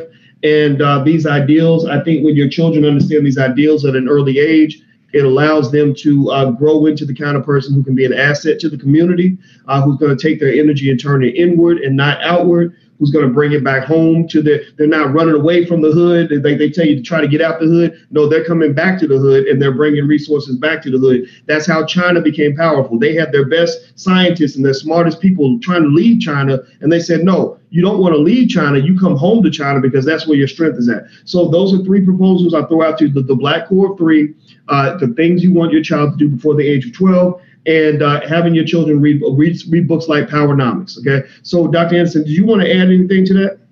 Yeah, yes. Let, let, let, let me um, re- recount something that happened to me when I was with President Carter. Um, I was invited to participate in a major program down in Puerto Rico. Again, it was focusing on codes of conduct. That meeting down in Port in, uh, in Puerto Rico, we met out at Fort Morrell out there, and uh, in Puerto Rico they had one of almost eh, two of almost every extraction in the United States. They invited two Puerto two Puerto Ricans. They had one uh, one woman named Goldie Chu as a Puerto Rican from uh, I guess I was I mean she was Asian from uh, from Connecticut. They had uh, Alfred Wong from San Francisco State. They had uh, they had two they had two Indians I think an Apache and another uh, Cherokee Indian participating. They had a, a, a one white a guy and one white female, and me, and they were. I was I was and uh, uh, somebody else in some other some other uh, extraction. But anyway, I was raising Cain at the meeting, you know, for about three or four days meeting in Puerto Rico about the importance of having a code of conduct. And after about about a half a day, we went out for a break. And some of the people in, in the meeting came out and met me in the hallway and said, Dr. Anderson, you know, we're tired of your crap. I said, what do you mean? They said, well, you might be the president of the United States. They said, but, but you're wasting our damn time. I said, what do you mean? They said, because you're the only person keeps talking about the importance of a code of conduct. They say, everybody this damn meeting, every extractor that has a code of conduct except you damn black folk. That's your damn problem. You're wasting our time. I said, so I was about ready to fight. I said, hold a second. Wait a minute. Wait a minute. Wait a minute. I ain't going for that. What do you mean I'm wasting your time by the code of conduct and you jumping on me? And they said, well, look, each one recited. one of them, I can't think of her name now. She was from um, uh, Chicano. She said, uh, she, said, Dr. Even the Chicano movement, we have a code of conduct. It was very simple. We say, whenever your community move and your people move, you move and follow your people. She says, that's how simple it is in our code of conduct. That's why in every town, we're going to have a Mexican town, a little Havana, a little Hialeah, a little Cuba, because we stay with our people. And I said, okay. And then the, uh, then Alfred Wong from San Francisco State, he said, Dr. Anderson, even in Chinatown, we've always had a code of conduct. It was very simple in Chinatown in San Francisco, because he's from San Francisco. He said in Chinatown, it was very simple that in Chinatown, we didn't need any white policemen to come in our neighborhoods to try to enforce a code of conduct from a white standard. So we didn't allow white policeman in any Asian or Chinatown in the United States. That was fact. they said because we had a cardinal rule that if you did it, if you lived in, in Chinatown, you were Chinese, you did something that violated the code of conduct, you had to get out of town before the sun went down, or your butt floated in the damn bay with your throat cut. And then when they said we had two groups. One was called the hatchet men, that was called the tongs that dealt with you. Today you might call it the mafia or some organized crime that you mentioned earlier. And then, and then the Apache Indian, he said, Dr. Anderson, even as you see these negative movies or cowboy movies about us, you know, he said, we also had, even though we had been beat up sometime, you know, and by the, by the white man, but he said we all, but we did have a code of conduct in these Indian villages. I said, what was your code of conduct? He said, well, a very simple rule that said you got freedom in the, in the, in the, in our Indian tribes, the Apaches. So you can get a, you got your freedom. You can make your own decision. If you want to leave the tribe, you can go with the white folk anytime you want to.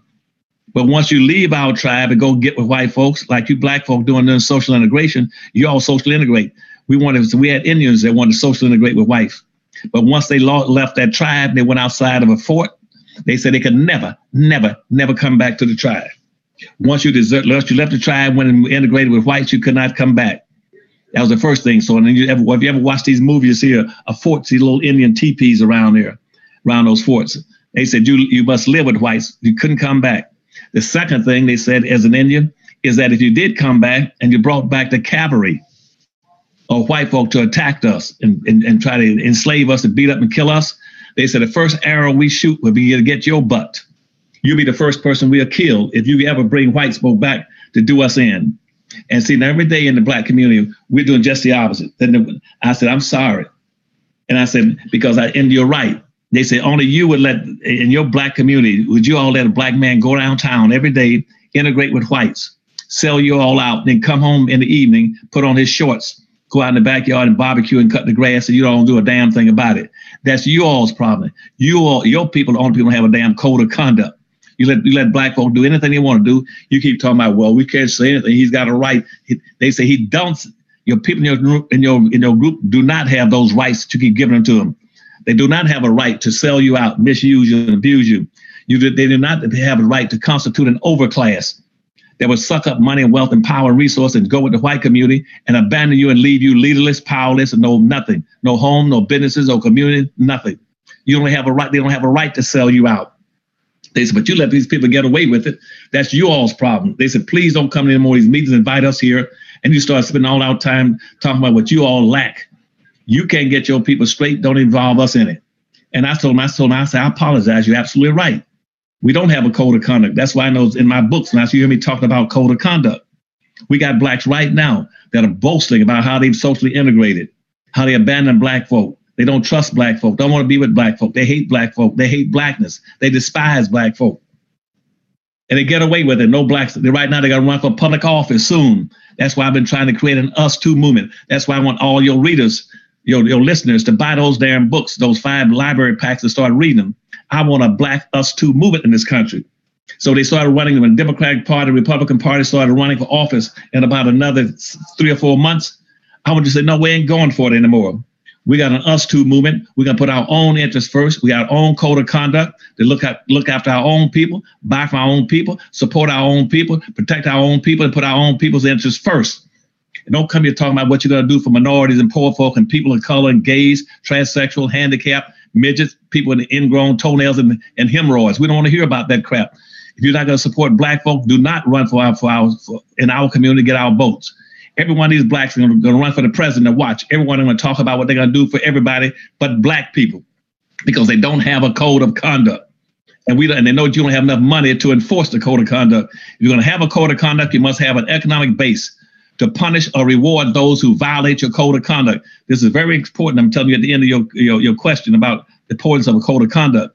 To have an effective code of conduct and to you must have a wealth base beneath it where you can either reward or punish those who violate it. That's one thing I found out a long time ago in being in, in, in that in that meeting in Puerto Rico. You must have a, we don't have a wealth base. We're so busy trying to integrate and put up businesses in everybody else's community and be consumers rather than producers and powers. We can't even come, we don't have a code of conduct. We couldn't even enforce a code of conduct because we don't have any money and wealth and power. All right, all right. So everybody heard that. Um, so, so the code of conduct, the first code of conduct I would suggest for everybody is uh, definitely within your household and the space that you control. Uh, create a code of conduct that's going to generate wealth and power. And then when you have wealth and power, you get to decide how things are going to happen in your life and in, in the lives of others. Uh, everybody might not do it, and it's okay, uh, but you can do it. You can do it in your household. Um, I know I know that that was the decision we made in our house that we that we just have certain um, ways things are going to get done, and we're, we're we're we're getting off the grid. You know, for the most part, we're you know we're we're just not interested in uh, in in doing things the way they teach black folks to do things. You know, so so um uh, so I want to say uh, thank you, Dr. Anderson, for your time and everybody who's in here, I want I hope you guys will take a second and uh, give Dr. Anderson a digital round of applause. Uh, just just tell him thank you right quick, please, in the comments. Uh, please hit the thumbs up button, share button, hearts and likes on Facebook, all that stuff. Let Dr. Anderson know how much you appreciate it. Uh, Powernomics Thursdays every Thursday at 2 p.m. Eastern. Uh, my podcast, I usually come on here at 2 p.m. Eastern to go live. But if you want to get a text when I go live, uh, in case I go live at some other time, uh, just text the word Boyce to 31996. Text Boyce to 31996. Uh, also, if you want to go check out Dr. Anderson's books, uh, you can go to powernomics.com. He's got a library pack for $99. You get all five books plus a DVD. Um, again, this is a great uh, summer exercise for your children, for your family, uh, something that will bring you together, something that you will go back to over and over again as a reference for how you're going to build your own family empire. A lot of y'all, I don't know if anybody in here, I don't know if it, if it sounds white of me to admit that I love the show Game of Thrones, but I'm gonna just tell y'all right now, I love that show. And uh, in Game of Thrones, all you're seeing, if you, you watch Game of Thrones, Dr. Anderson, yes. Uh, and I'll see you next week and tell them I, am gonna look see I'm gonna go buy those books. I got to move this Us Too movement before the election started about another, another two. I want you to surprise all these people who want to want to take black folk for granted in this society. All right, all right. Well, take care, Dr. Anderson. Thank you so much. Now, buddy. But I'll let I'll let you get on out of here. But but I, will okay. tell I'll tell you guys. Um, you know, with Game of Thrones, if you if anybody watches Game of Thrones, you know that Game of Thrones is basically uh, a bunch of white people fighting for power. And uh, if you watch Game of Thrones, one thing you'll notice is you'll notice that there is uh, that there are all these families, these families that have been around for hundreds of years, maybe thousands of years, and they all have codes of conduct. You know, like the Lannisters always pay their debts. The Starks have a certain way of doing things. You know, the Tullys, and and you have all these royal families, and everybody in their own house, in their own space, is a king. Eh, you know, they got a king, a queen, lords, the Lord of the North. You know, etc. And uh, and I'm gonna tell you, I, I think that for you, you may want to think about your house in the same way. Your house is a kingdom You know, you're you are the king of that house. You are the queen of that house. You make the rules. You establish the code of conduct, and it's the code of conduct that keeps the house together, that keeps the family together. So, um, so just going deeper into what Dr. Anderson said, I'll talk to you guys for a couple of seconds here because uh, I know Dr. Anderson had to go, but uh, but I think this is worth discussing. Figure out what your code of conduct is going to be. Write some things down just some basic rules. You know, like for example, when I was growing up, my daddy was all about codes. You know, my daddy's a soldier. He's a uh, and plus he's a police officer, right? So I mean, if anybody has codes of conduct, it's usually cops, right? Good or bad, right? And and and and because some of the cops are dirty, but then some of them have codes just so they can stay alive, right? So so ultimately, the idea of the code is not about morality and and and whether you like cops or don't like cops. It's about winning. It's about figuring out you know, like what's the best way for your family to win? And I'm gonna tell you, when, when I grew up, I remember my daddy would give us codes, codes of conduct, codes of behavior. One time, let me tell you a story. One time I was um uh, my, my my dad's friend uh, hooked me up with a deal on a new car when I was about 21 years old, and uh, and he was gonna give me a deal on the car. And I remember I called this man up to get to go meet with him to talk about this car and he wasn't nowhere around and i called the office and i was like i was like well i'm supposed to meet with him today and he didn't show up and blah blah blah blah and i'm talking to his white boss and, and my father was like, no, nah, don't do that. You don't do that. Don't do that to no brother. Don't call his boss and, and complain like that. You know, so he was reminding me about staying on code. Uh, in other codes are things like um, you don't steal from family. You know, if you got family, you know, so that might be part of your code. You might just tell your children, look, we don't steal from family. Don't stealing's wrong all the time, but when it comes to family, that's like some death penalty type shit. Like that's like you steal from family, that's as low as you can get. So I don't care how desperate you are. I don't care how much you're feeling like Cardi B when she's talking about I used to drug and rape and steal and rob, nigga, blah blah blah. Well, if you go if you're gonna go Cardi B level and start drugging and robbing people or whatever, don't do that to family. You know, you do that to family, then you're gonna get cut out you're going to get cut out of the institution. You get cut out of the family because you violated the code, right? Every institution has a code. Every family has a code. Uh, every group, organization, anything that's structured always has a code.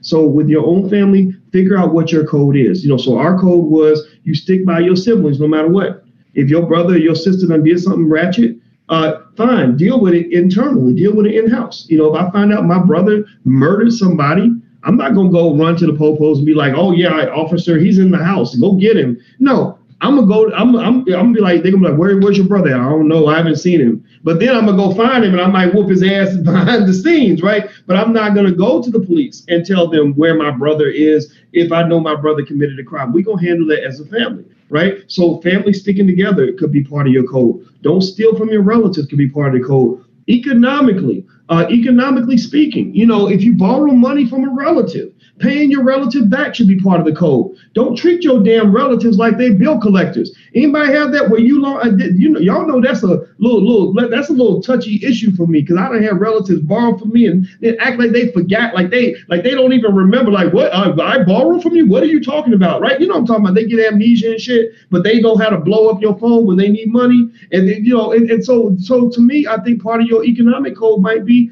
if you borrow money from a relative, you pay them back first.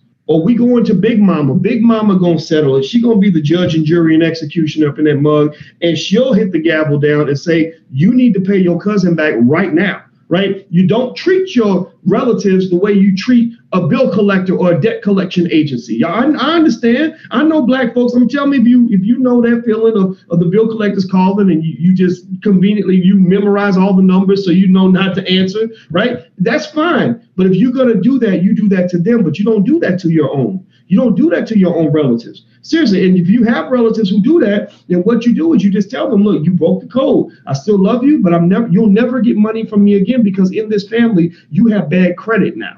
Right now, your bill, your your credit score is now down to zero, which means we will only loan you zero dollars. So if you want zero dollars, if you want to borrow zero dollars and zero cents, then we can feel it. We can get you every time. But if you want to borrow more than zero dollars, like a penny, you're getting nothing because you broke the code. Why is it important to hold people accountable on code? Because codes are how institutions maintain themselves. It's like a basketball team that has a game plan. Every player's got to be on code. Every player's got to know what the strategy is. Every player's got to know how to run the offensive scheme. If one player's off code and doing his own thing, it messes everything up. You know, with New Edition, they have Bobby Brown. He everybody they all he was off code, right? They all doing the same little dance. Bobby Brown's over on the side with his shirt off, wiggling like an asshole. They were like, "You're off code, bro. You're messing up the group because you're off code, right?" So ultimately, what I'm saying is that in our families, we got to have codes and we got to enforce those codes. And what you do is you start with your children because remember that when you are you have you and your wife, you and your husband, you and your boyfriend, you what whatever it is. I ain't judging if you're married to your your kids' parents or not. And, and then you've got your children, and your children will have children, those children will have children. So in a very short amount of time, you won't be the parent anymore. You'll be the grandparent. And then after that, shortly after, you'll be the great grandparent. So you'll have 20 or 30 or 40 people that are all operating off of a code that you established way, way, way back in 2019 right? It'll be the year 2069. You'll be old as hell, you know, barely hanging on, and you'll just be looking. You'll be thinking back to like, yeah, I remember when I created that code. I told your great, I told your granddaddy when he was a baby that he needed to operate by the code, and you'll see your kids, grandkids, and great grandkids living by the code, building businesses off the code, holding the family together off the code. We need codes of conduct. So implement that in your house. I'm not talking about the whole black community right now. I told you I don't have the power nor the the, the energy to go and figure out a way to get 40 million black people on code. I can't do that. But what I can do is talk to you individually as heads of households. You know, like like like you know, like like like Game of Thrones. Like, okay, we're we're the we're the kings of the north or the queens of the north. Like we we run the north. So in your household, you're you're the lord of your household. In your household,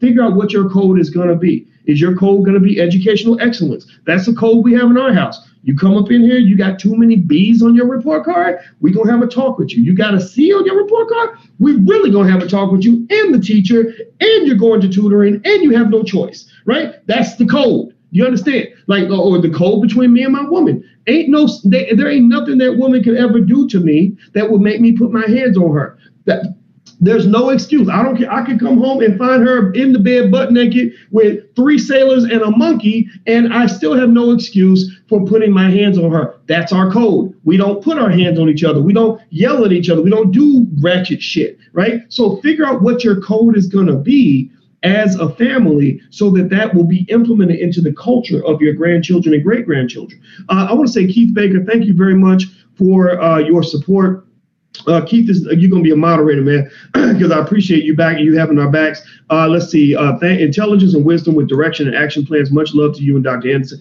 Yeah, I wanted to give you guys an action plan to kind of maybe give some examples on sort of how we're implementing these things in our lives right now. So, so let me repeat the code of conduct that I proposed earlier. Um, one of the codes we believe in in the Black Business School is what we call the Black Core of Three. The Black Core of Three says that Black people should educate our own children, create our own jobs, and support Black businesses. So that means that when it comes to education, I don't really, I'm, I'm not real concerned with making the public schools better. I hope that they get better, but really, I if I if I'm raising a child, I try to educate my child be above and beyond the public school. They're going to get education when they come home. They're going to get education from the web. Maybe I'm going to put them in a school like Freedom Home Academy International but I'm not going to let uh, a white man be solely responsible for educating my child. Don't disrespect to white folks, but y'all just haven't done a good job. We all y'all failed miserably. Even though you've had billions of dollars in your pocket, you still can't educate a black child appropriately.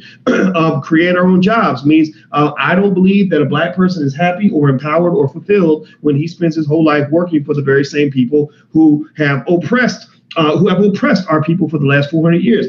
You ain't we don't we don't get ahead like that. We don't build wealth like that. We ain't moving forward like that. Ain't nothing good coming out of that. So we're gonna try Plan B. Plan B means we don't want you to create the jobs. We will create the jobs. So so when a politician says, "Well, Dr. Woods, how do we get how do we fix the black unemployment rate?" You know, maybe we can go to these big corporations that are owned by white people and get them to get create more jobs for black people and more affirmative action programs and the the privileged Negro program and the give good, good give some more good nigga so they'll hire more black people. And, and I'll be like, no, no, here's what you do. You create a multi-billion dollar fund and you, you allow smart people like myself or somebody else to take that $10 billion fund and to go into communities all across America and create urban business development centers. And in those business development centers, I know exactly what we would teach. We would take young children under the age of 12, and we, as well as their parents, and we would teach them uh, how to how to invest in real estate. We would teach them how to invest in stocks and bonds. We would teach them how to start businesses, set up LLCs,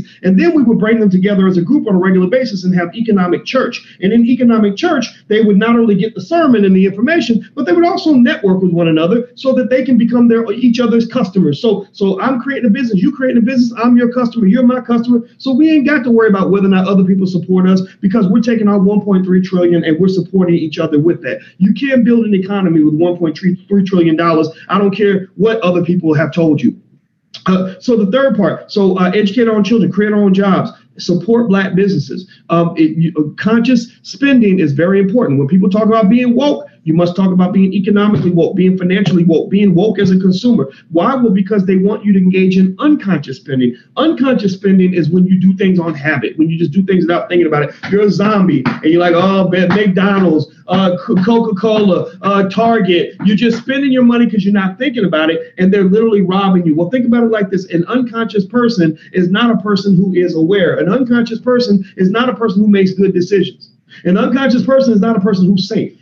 An unconscious person is a person who gets played. an unconscious person gets victimized. An unconscious person gets raped, whether that is physically raped or financially raped, right? A lot of sexual assault occurs because the victim was unconscious, right? So why would you want people to allow you to, or to encourage you to not just let them make you unconscious, but you actually seeking to be unconscious? You enjoy being unconscious. You want to be unconscious. Why would you want to be unconscious when unconscious people get financially raped? Right? So so they are putting date rape drugs in your schools.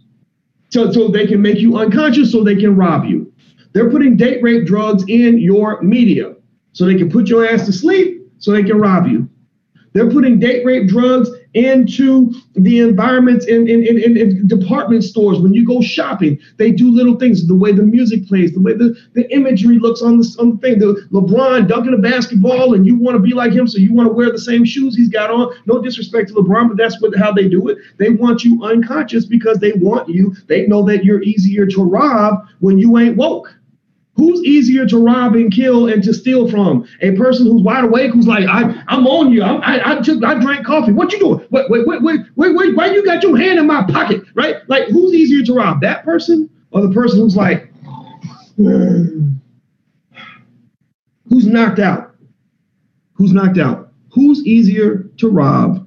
The person who is fully alert and questioning everything you do and watching you like a hawk or the person who is unconscious. So, when people use terms like woke, stay woke, get woke, financially woke, I'm woke, you got to understand there's a meaning behind that. There's a deep interpretation of what wokeness really means. Wokeness means being alert to all the things they're doing to you, which means you got to question everything. Like every time you put food in your mouth, what is this? What are the ingredients? Why are y'all feeding this to me? Well, you know, every time you consume something on TV, you got to be like, okay, what is going on here? What's the imagery? Why does why does all the every time they have a lead character, the character is gay, and then the they make the character the gay character black? They're, they're, they're trying to get me to want to be gay. Why, why is every black woman in this show always dating a white man. Oh, I get it. They want black women to to let go of the black man and to want to go be with white men. You know what? To be the white man's side chick or whatever it is that, that she's doing on Scandal, right? Like like like if you're really woke, you can't even watch mainstream media anymore because you're always like noticing all the little shit that you wouldn't have noticed when you were asleep. You know, a woke person is a person who will read a book, a history book, a white history book, and be like, this is bullshit, man. Like Christopher Columbus did what? You know, right? But a person who's not woke, who's con- who's unconscious, is going to just suck it all in, right? And they're they going to get robbed and raped at every, every behind every turn. so um, wokeness is a necessity. Um, it, it, going back to code, Black Core 3, educate our own children, create our own jobs, support Black businesses. You don't need to send your kids to a special school to educate your own kids. You can have a university in your house. I have a university in my house. It's called youtube.com. Another university is called google.com. you know, we we we will we'll watch the science channel, whatever it is we want our kids to consume. We control that shit. It ain't gonna just come from somebody that we don't know, right? It's too important. Their brains are too important. Um, second part of the code of conduct is before the age of 12, rite of passage, rite of passage for children before the age of 12. Every black child should know how to start their own business. Every black child, that, that means fill out the LLC form, know the basics of running a business, producer versus consumer, maybe uh, even get to the point where they can make their own money. Um, at least be aware of that. Uh, also, every black child should know how to buy a home, the basics of buying a home, like what that looks like, why it's more important to be uh, an owner versus a renter, like what what the benefits are, how that works. Um, third, every black child should know how to invest in the stock market. I've talked to you guys about it a thousand times and explained that even monkeys can invest in the stock market. So if monkeys can invest in the stock market, so can your seven year old or your 10 year old. It ain't that hard to do. Um, the third part of the code of conduct, if you want to add this in, is some kind of books like Powernomics or whatever it is that you want your children to read. Have them reading books like that. If you want to go take some some take a look at some of the books that are on my list, you can go to drboycebooks.com. That's drboycebooks.com. Uh, but find something that uh, that that sort of required reading for the family. Offer your children, just say to them like, look, I'll give you twenty dollars if you read this book, or if you read chapter five, I'll give you ten dollars, right? Or the child comes to you and says, Mom, can I get money to go to Burger King or whatever? You say, okay, finish reading that chapter in Powernomics, and I'll give you Burger King money. Every time your child wants something from you, that's an opportunity for you to have leverage over them. So don't waste it. Don't waste leverage. What you do is you say, like, like our kids, our kids really want a trampoline. They're like, we want a trampoline. How do kids want to? I'm like, who the fuck? Y'all ain't gonna use no damn trampoline trampoline. All these damn kids got trampolines. They don't even use them, right? But you know what? I'm like, okay, you want a trampoline? So guess what? I'm, I got something I can hold over your head forever. So whenever they start tripping,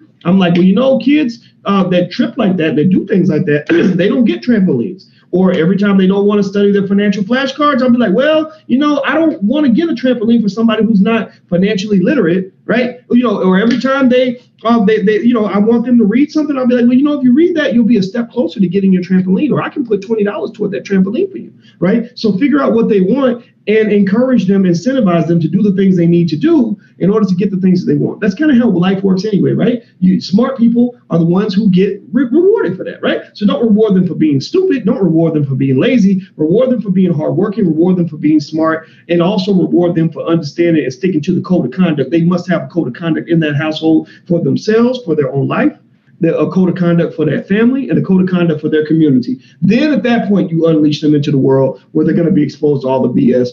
but by the time they get exposed to the BS, you will have deeply, so deeply ingrained an ideology into their mental framework that the BS won't sink in. They're going to be the they're going to be the one at school who's going to be the, the wokest kid on the university campus, as opposed to all these other poor kids who don't know who the hell they are, and they get to campus, and, and these campuses are turning them into little little idiotic Oreo zombies. So anyway, I'm about to go. I'm losing my voice. so please hit the thumbs up button. Thumbs up, thumbs up, thumbs up. Please, please, please hit the thumbs up button. Also, uh, if you want to get text alerts when I go live, text the word voice to 31996. Text voice to 31996. Uh, also, uh, if you want to uh, go and check out financial flashcards for your kids, or financial workbooks or something like that with the summer coming up or whatever the case may be, you can go to financialworkbooks.com or financialflashcards.com. It all goes to the same website, but it kind of helps you get directly to the flashcards if that's what you want to do. So I'm out of here, guys. Have a good day, and um, I'll see you soon. I'm gonna go and do something about my voice. I've been all hooting and hollering, and now I need to just go lay down and just shut the hell up for a little while. So I'll see you soon. Stay on code. Hey, I'm Dr. Boyce Watkins from Your Black World and the Black Business School. Um, I'm going to uh, let you guys have time to come into the conversation, into the live stream, into the, the discussion. Uh, as you know, the, uh, Dr. Boyce TV is the home for intelligent Black people. So uh, if you're not Black or, or intelligent or trying to get that way, uh, then you may not want to be here. This may not be the place for you. Uh, today, I get the distinct pleasure, as every as we do every week on Powernomics Thursday, to speak with uh, the one and only, uh, the extraordinary, the brilliant Dr. Claud Anderson. Uh, Dr. Anderson is the author of the books uh, Powernomics, Black Labor, White Wealth, The Black History Reader, and Dirty Little Secrets 1 and 2. His website is powernomics.com. And uh, and so without further ado, as you guys hit the thumbs up button, hit that thumbs up button. please hit that thumbs up button and hit likes and shares to welcome my good friend, Dr. Claud Anderson. How you doing today, sir? Oh, I'm hanging in there. Good, good. All right. So uh, uh, let, let's get started. Okay. So everybody, uh, as, as we uh, as we get started, everybody comes in here. Uh, we always do the city shout out, and I want you to shout out your business. Uh, this this platform belongs to the community, so I want you to promote your business. or promote your dream or just at least rep your city. So everybody on the count of three, go ahead and shout out your city, your business, or your dream. Your city, your business, or your dream, or you can shout out all three. Um, I see Lisa's here, Conrad, Tahia, Israel. How you doing, Tahia? Ricky Stone, uh, Anderson Hatch uh, from Philadelphia. I see uh, Master Rod, uh, Ricky Fontaine, Dr. Boyce. Please check my DM when you have a minute. Okay, sounds good. Um, let me see. I see Organized Bufu. I don't know what that is, but it sounds interesting. Uh, I see, um, uh, let's see, Chill Vision from Stockton, California, Mr. Lomax from Seattle, Nature Boy from Jackson, Mississippi. I love Jackson. Uh, Michael R. from Pittsburgh. Y'all got cr- crazy traffic. Y'all need to fix some freeways. Uh, Sonia from Lansing, Michigan. Reese from Inglewood. Sorry, I should say Inglewood. Uh, DeVale from Chicago. Uh, Bless Bind Mister from Tennessee. Cassandra from Arlington, Texas. Uh, I see, let's see, Bridgewater Investment Properties, Houston, Texas, from Anthony, uh, Detroit, living in Greenville, South Carolina, from Harlan, et cetera, et cetera, Newark.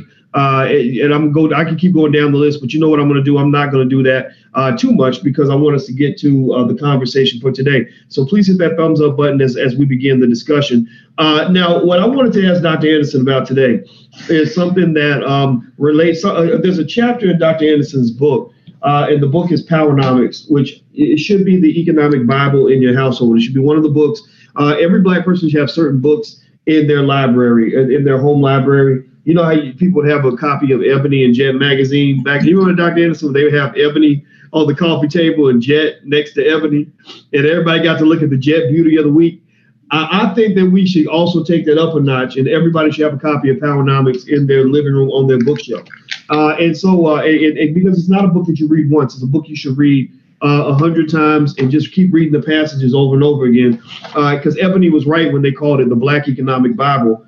And there's a section in your book, Dr. Anderson. Um, you know, and, and I and I go to your book. I reference your book a lot of times when I'm trying to understand certain things I might see in the community or uh, problems we're seeking to solve. And and this book is a tremendous contribution in that regard. And you have a section on codes of conduct and group accountability. Um, now I'm gonna read a little bit in, in this uh, little uh, short passage in this, and uh, and just you know with your with your brilliance and your understanding of these concepts, because you you wrote the book on Powernomics. Um, I'd like to get your thoughts on on what I read in, in terms of helping us elaborate this and understand it and apply it. Uh, here you say that a code of conduct is a standard of behavior that outlines what is right and wrong within and outside the community. It serves as a competitive tool that promotes group unity and accountability by suggesting either rewards or punishments for its members based upon how their acts help or hurt the members of that group. So I, I took note of what you said about uh, codes of conduct being a competitive tool. Uh, can you kind of speak to uh, how communities that have strong codes of conduct, why they tend to do better than communities that have no standards of conduct whatsoever? Right. Well, thank you. Well, see, it, it is absolutely essential if you're going to be a competitive group to have a code of conduct every group I know of on earth has a code of conduct, with the exception of Native Black Americans. We don't have a code of conduct. And um, in whites, for instance, let's, let's, let's, let me show you the difference between one being competitive and one being a way of controlling. See, the first time a code of conduct was introduced uh, in this country that was respected was in the slave codes of 1705. What they did, they put out this was a slave code in 1705. What it said very explicitly, Doc, Dr. Watkins, is that it's like having a two-headed, two-sided coin. They said, here's how white folks must behave. They must behave. On one side, and on the second side, this is how black folk must behave. On the white side, on the side of that coin, it says that white people, certain things that white people cannot do, and they would not tolerate it. You cannot, for instance, allow a black person to be an authority in a, in, in, in, a, in a controlled situation over whites. That is absolutely forbidden, point one. It says that you cannot have a let allow a black person to speak to or address a white person by his first name. You it, it, it says second, thirdly, you cannot allow a black person to try to hold a white person accountable. For instance, like counting his change and, and anything like that. And when a white person said this is it, that's it. You cannot dispute a white person by the code of conduct on how black folk were to behave. That was instituted in the slave codes of 1705. On the, on the other side of the coin, it told whites how they were to behave towards black folk. What they could not do, they could not elevate a black person. And they could not necessarily even set a black folk person free without having some permission. To, uh, having approved meritorious manumission policies. So a code of conduct tells everybody how you ought to behave to be competitive, and uh, and that stayed in effect throughout the, from 1705 all the way up until after after the um, the uh, Civil War. When the Civil War, they modified that and they called it a code of etiquette. They modified it. It, it switched from being a code of conduct for, that was that regulated and controlled blacks in slavery. After slavery ended, they, they and, and so they came up with another new thing called a code of etiquettes, and that was instituted in 17 in um, in uh, 1870, which says this is the way black folk must now perform now that you're free, that you're quasi free. And, and what they said there is that three things you must not do because now you can free, you're voting. We're gonna you can hold up, you can get jobs, and, and even particularly in the public arena as either a clerk or as a mailman or a sheriff or a policeman in your own neighborhoods or if you get elected to a public office like a like a you went to the went to the congress or or or anything the code of etiquette says you, three things you must not do. One you must not go into a public arena and sort of folk and talking about groupism or group issues because they know because as a group you that's a possibility of having potential power if, if we allow you to group, then if I take your fingers and make them into a fist, that signifies a potential for power. One, you cannot talk about groupism under the code of etiquette that was put in place in 1870. Secondly, you cannot come in and start talking about uh, issues pertaining strictly and solely to black people. You cannot do that. And thirdly, the thing you cannot do, you cannot come in and start trying to hold white folks accountable for how we treated you during 360 years of slavery. That was a code of etiquette that came in. And that was and it was codified after that into what you all call the black codes, which means we are now putting in, in uh, peonage laws. So every state enacted laws in in the South that told black folk exactly how they were to behave. It's called the black codes at that point in time, which is a code of etiquette. etiquette and uh, that was a nice way they put it. it was a code of controlling black folk in the South, saying you could not have a weapon you can, you can have a shotgun, but you can't have a pistol. You cannot you cannot be anywhere near a white woman. Those are codes of etiquette. It's designed not only to control, but it's also to keep you either competitive or non-competitive. It kept white folk competitive in the slave codes and the code of etiquette, but it also kept black folk non-competitive, weak, and and in a weakened, vulnerable position. Now, that, that that's just the net code. Now, other groups have a code of conduct. For instance, Asians have a code of conduct. They say in, in no circumstances the Chinese uh, Asians said uh, we're going to conduct business with black folk. They do not. We're not going to buy from you. You must follow us. And that's why when I had the seafood industry, they would not buy for black businesses. I found I did a research that found over 237,000 Asians that have become wealthy people, multimillionaires, off of selling products and services and goods to black people in America, Dr. Watkins. They have become multimillionaires because just by strictly producing and selling items to black folk in America. That means tennis shoes, socks, clothing, whatever it might be, toys, anything. But I could never find not one Asians, one black person would become a, a multimillionaire for selling something to Asians. And they told me repeatedly in Miami and in Washington, D.C., we do not buy from black folk. We will not hire black folk. It's against our code of ethics, our code of conduct. We won't do it. And then, and nobody. That's why they all boycott black businesses. That's why no no no ethnic groups going to come to your community and buy anything from you. It's a code of etiquette and ethics, conduct, and uh, and but black folk don't have that. Black folk were stripped of that in slavery, saying that you took out know, by the slave codes. You cannot come together. We do not want you to do blacks to come together anytime, any place, and to plan anything to, in, in in in a group sense that make you competitive. That's why. That's why they. Had, that's why. That's why during the '60s that we we had, we had all these different organizations, the FBI and everybody else that, that broke up the Black Panthers and all these black organizations, because coming together signifies power, just like it did for blacks as it did for the slave codes for whites. Mm. Everybody, I'm talking to Dr. Claud Anderson, author of the books Powernomics, Black Labor, White Wealth, The Black History Reader, and also Dirty Little Secrets 1 and 2. Uh, we're talking about codes of conduct and how codes of conduct can uh, either uh, strengthen you as a, as a group or they can be used in this context that he's referring to. Uh, they can be used to control another group. You know, if you got a bunch of animals in the zoo, you have uh, codes of conduct amongst the trainers and what you do, how you do and do not engage with the animals. And then you have codes of conduct for the animals in terms of what you will allow them to do and not allow them to do. And uh, guess what, black people? You typically are the animals that are kept in the cage. And some of us don't know that we're in the cage, but some of us choose to act like animals, it seems like, when it comes to not really having any sort of code. Uh, so, Dr. Anderson, I want to ask you this question. Everybody, please hit the thumbs up button. If you haven't hit the thumbs up button, please uh, take one second on, on the count of three. Everybody hit the thumbs up button or share the video or both, do both. Uh, one, two, three. If you're on Facebook, please share it. YouTube, anywhere, please share this link. Um, so, so uh, Dr. Watkins, if you want me, I'll elaborate further on that point I just made to you. See, in America, that's why black folk don't have communities. See, we're the only group in America that do not have not one single solitary community. Because they have a community, that's a form of structure, a sense of community, a sense of peoplehood, a sense of togetherness. You cannot have you cannot have a sense of community if you don't have a sense of togetherness. And so when you have a code of conduct, it'll tell you how you to cooperate and how to have a community. That's why whites would build forts. Or if somebody was attacking them, the Indians attacking, they, they'll circle their wagons. So they were, they, they, they were, everything was based on your own common conditions at that particular time, your needs, your interests, and a self, sense of protection.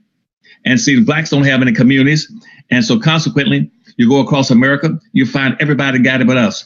To have a community, you must have three, three, uh, three elements in there. The first one is a is a wholly independent economic structure that will provide jobs, business, products, services, and goods for your own people and business opportunities for your own people. We have none. We have, we don't have not one community in America. We don't. All we got are neighborhoods. A neighborhood is not a community. So, so, so when if it's just a neighborhood, there is no code of conduct in a neighborhood. A neighborhood is go for yourself and do what you want to do with even if it's your neighbor. It says you have no alliance, you have no respect for, you no appreciation for. You don't support your neighbors in a neighborhood. Consequently, start talking about black folks shooting other black people. They shoot them because there's no code of conduct saying don't kill your own people. When, when you live in a neighborhood where, where you got all these abandoned houses, boarded up buildings, rundown buildings, vacant lots with weeds growing up and fences and, and filth on the sidewalk and mattresses on the sidewalk. There's no code of conduct about cleanliness and respecting and appreciating your own people. So consequently, there's no code of conduct. So when one person they might have a television next door to you, when, you, when he leaves to go to the work, you break in his house and steal his damn TV. There's no code of conduct saying support and protect your own people or buy from your own people. And see that everybody, and so we don't have a community. Oh, we got a neighborhood. So there is no black code of conduct. You know, but to have a community, you must have a wholly independent economic structure, a code of conduct, and, and, and a body of elected officials who put your interests first and foremost. We don't have that. So consequently, blacks have no code of conduct. Their code of conduct, Dr. Watkins, I know I'm give you a long spiel. Their code of conduct is do your own thing for yourself. That's that's the code of conduct for black folk. That's why you can be a member of the black overclass. They don't give a damn about you. And if you want to shoot shoot somebody, go into any black community. They'll, they'll kill another black at the drop of a hat because there's no code of conduct saying you don't shoot and kill your own people. And then, but but and that, that's why Jews stick together, Arabs stick together, Hispanics stick together, American Indians stick together, and black people stick each other. Wow. Well, well, I'll tell you what, Dr. Anderson, it's uh, that's that's um uh, a lot of honesty. This this really you know kind of hitting us hard. Tell tell me uh, what if, if this resonates with you guys. Uh, uh, yes or no? Let us know what you think. Uh, throw in your two cents. Um, I see Leon's from South Central uh, you know, where you've got a lot of people in South Central that have that maintain the code of conduct, but you have a lot of people that don't maintain the code of conduct, and that's why we lose important people like Nipsey, Nipsey Hussle, whoever, um, uh, you know, or whoever else. I mean, it's, probably somebody else who died this week. We just did, we just don't know anything about it. It wasn't covered in the media. Uh, so, so Dr. Anderson, uh, you mentioned that a an independent economic structure is one uh, one thing that differentiates a neighborhood from a community. Right some other uh, factors, characteristics that uh, that will help us identify just what we want to aim for if we, if the goal is to create a community besides besides independent economic structure. What else would a community have? I'm sorry. So answer that last question again now. Oh, sorry. I'm sorry. Uh, in addition to an independent economic structure, what are some other signs that you actually have a community versus just a neighborhood? Right. Well, see, in the code of conduct, the code of conduct will say it tells you what, what to buy, who to buy from, who to support, who believe in, who to trust, who to fight for, who to protect, and who to align with. That's your code of conduct. That's why I'm not when when blacks come down to Washington D.C. and they go over to Chinatown. Let me give you some examples. Again, some of the more prominent ones I know about. You go over to Chinatown. You tell the Chinese merchants, say, "Look, I'm a black person. I'm selling warehousing products and services, and uh, I want like to sell you some of it. And I can sell you on the same commercial products you got on your shelves right now in your stores. This is meeting with the with the with the Asian merchants right here in H Street in Washington D.C. Watch the code of conduct now. They come out and meet in a room, and these and the blacks say, "Look, we like to sell you those same products you got on your shelves, and uh, we like to want like for you to buy some from us." The Asians, you know what the Asians say in the code of conduct? I'm sorry, we can't do that. They said, why? They said, because uh, because we're not interested. And so what the blacks would say, well, okay, we'll give you a 25 to 30% discount on the same Cheerios and and and what and the sodas, the bottle pop, whatever you're buying. The Asians say, we're still not interested. And know what the blacks would say then? we don't understand that. Why is it that we come into your community and sell you the same products, the same goods, and give you a 25 to 30% discount, why is you want to buy our products? You know what the Asians say? Because it's against our code of conduct. In our com- in our community, we only buy from our own people. Only you black folk will buy from any and everybody because you don't have a code of conduct. That's why right now you you got a you got a 1.3 trillion dollar income, and you spend 98 percent of that money outside your own community. You don't buy from your own people. You don't practice group economics. As Asians, we do. We keep all that money. We don't come into the black community buying anything. You come into our community, come to Chinatown. We come into your community, extract your money out. We impoverish you by coming in and setting up businesses and extracting it out. That's why we, as as Asians, we live off of two incomes. We live off of 100% of our money because we don't we don't let it out of our hands, and we come into your community and take another 98% of your money out through Chinatown restaurants, China grocery stores and cleaners and laundries and everything else. And the, and the same thing is that you know Carl Nelson, don't you? Carl Nelson ran into the same thing down in Miami. He went to meet with a, one of the biggest, richest Asians, Chinese, down in in uh, in Miami. He went in to sell time on the Mystic Radio that Stevie Wonder owned. He went in to sell the guy some radio time. And the guy showed showed Stevie, I mean, showed Carl this big five foot, five story building luxury, just pure luxury, a luxurious office space. And after he showed Carl around how he became a multi-billionaire. So Carl said, how did you do it? He said, I'm the primary distributor of foodstuff, services, and goods into the Caribbean islands with all the black islands, Jamaica, Virgin Islands, Bahamas, Bermuda. We sell you, we sell blacks all the products in those islands. You black folk buy from us and primarily from me as a Chinaman in your grocery stores, and what you need, you get it through me. He said, Now, what can I do for you, Carl Nelson? And uh, for Mystic Radio and, and Stevie Wonder, Carl said, All I want to do is to buy, want you to buy a little time on, on, our, and on, our, on our radio station for advertising. The Chinaman said, I'm sorry, Carl, I cannot do that. And Carl said, Why not? He said, Because that's against my code of conduct. He said, In our culture, because we have a culture that passes on our code of conduct. You don't have a culture. You don't have a conduct code of conduct. He said in the in the Chinese culture that the that the rule is that the white that the China man must never follow the black man. The black man must always follow the China man. Man, so I cannot buy any time on your radio station. He said because we our culture wouldn't allow it. Because in our culture we got a code of conduct says take care of your own people, your own race, your own family first and foremost. That's why we live together. You all scatter. You all integrate. We don't integrate if we can help it. That's why we got a Chinatown in every city in the United States. You all have nothing, zero. You're busy trying to integrate and go backwards. You don't practice. You cannot, ag- if you can't aggregate, you can't get power. And then when you don't have a code of conduct to help you. Well, everybody, I'm speaking to Dr. Claud Anderson, author of the books Powernomics, uh, Black Labor, White Wealth, uh, The Black History Reader, Dirty Little Secrets 1 and 2. Um, I see you in there, brother. He says, uh, Uncle Boyce, your content has been truly life changing for me. Uh, well, I, I appreciate you. Well, you know, y'all y'all been life changing for me because, uh, you know, uh, you know, back in the day, professors like us, you know, both of us being black men, uh, both of us being scholars, you know, we're not we're not basketball players, rappers, or criminals. So white folks ain't gonna give us no airtime. Uh, you you all are the people that support us. You're the ones who believe in us, and without you, we're nothing. And I will never ever forget that. And um, and I'm gonna say, if you want to know why I'm very loyal to Dr. Claud Anderson, why my code of conduct says I support Powernomics no matter what uh, it, it's because I know that as black men, we don't have a whole lot of friends. We don't have a whole lot of allies out here, Dr. Anderson. You know, they they try to destroy black men every chance they get. You even got people like Oprah and Gayle trying to tear down Michael Jackson and, and, and Bill Cosby's in prison and and they just, you know, they they love to just find anything that they can on a black man and even without proof, destroy him or discredit him.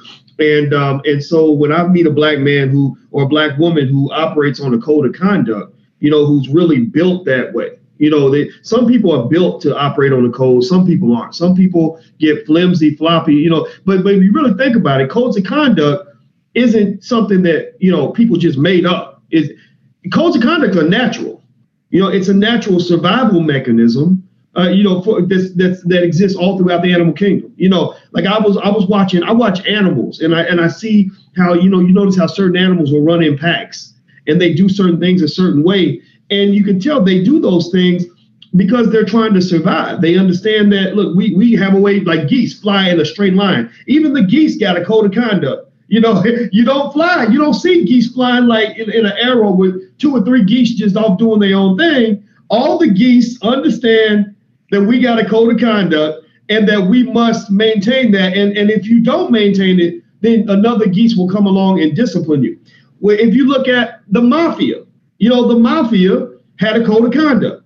They had an organized, organized structure. Uh, if you wanted to go kill somebody, you had to have a sit down. It had to be a sanctioned killing. Uh, if somebody got killed in an unsanctioned fashion, they'd have another sit down. If you talk, if you got if you got arrested by the police, you ain't supposed to talk, or we'll come kill you. You know, and so so you know, codes of conduct exist everywhere. Every what I find, Dr. Anderson, is that every living, breathing uh, successful organization or group usually has a code of conduct that holds it together. Even if we if we all, all go all went and went to work for Bank of America, Bank of America is a corporation which is pretty much kind of like a, a economic version of a gang. You know, and basically Bank of America, when you walk in the door and you say, I want to get money from you, they say, okay, well, here are all the lists of rules and regulations that we have for all of our employees, and you need to sign this. This is your code of conduct and if you violate that, you're going to be out because we know that maintaining that code is important for the survival of what we're trying to do. You know, uh, another example, Dr. Anderson, that comes to mind is I remember uh, in 1996, there was a time where uh, Kevin Garnett, who was as a former NBA player, he got this massive, he, he went into his contract negotiation. He was a free agent. And the Minnesota Timberwolves wanted to keep him so bad that they gave him an insane amount of money. They, they started paying him $21 million a year, where the average player at that time wasn't making nothing but maybe five or six million a year. Even the superstars wasn't making more than 10 million a year. They gave him 21 million a year. So all the team owners freaked out. They said, no, no, no, we got to have a lockout. You know, lockout is basically like a strike, except the owners are the ones who are locking out the players, right? So the, right then, the NBA team owners had a lockout. Now, let me tell you why the uh, the owners, in, there, it was a prolonged negotiation. I don't know if you remember, it was all over the news. It, it lasted for months. And in the negotiation, the owners obliterated the players. The owners kicked the players in the butt.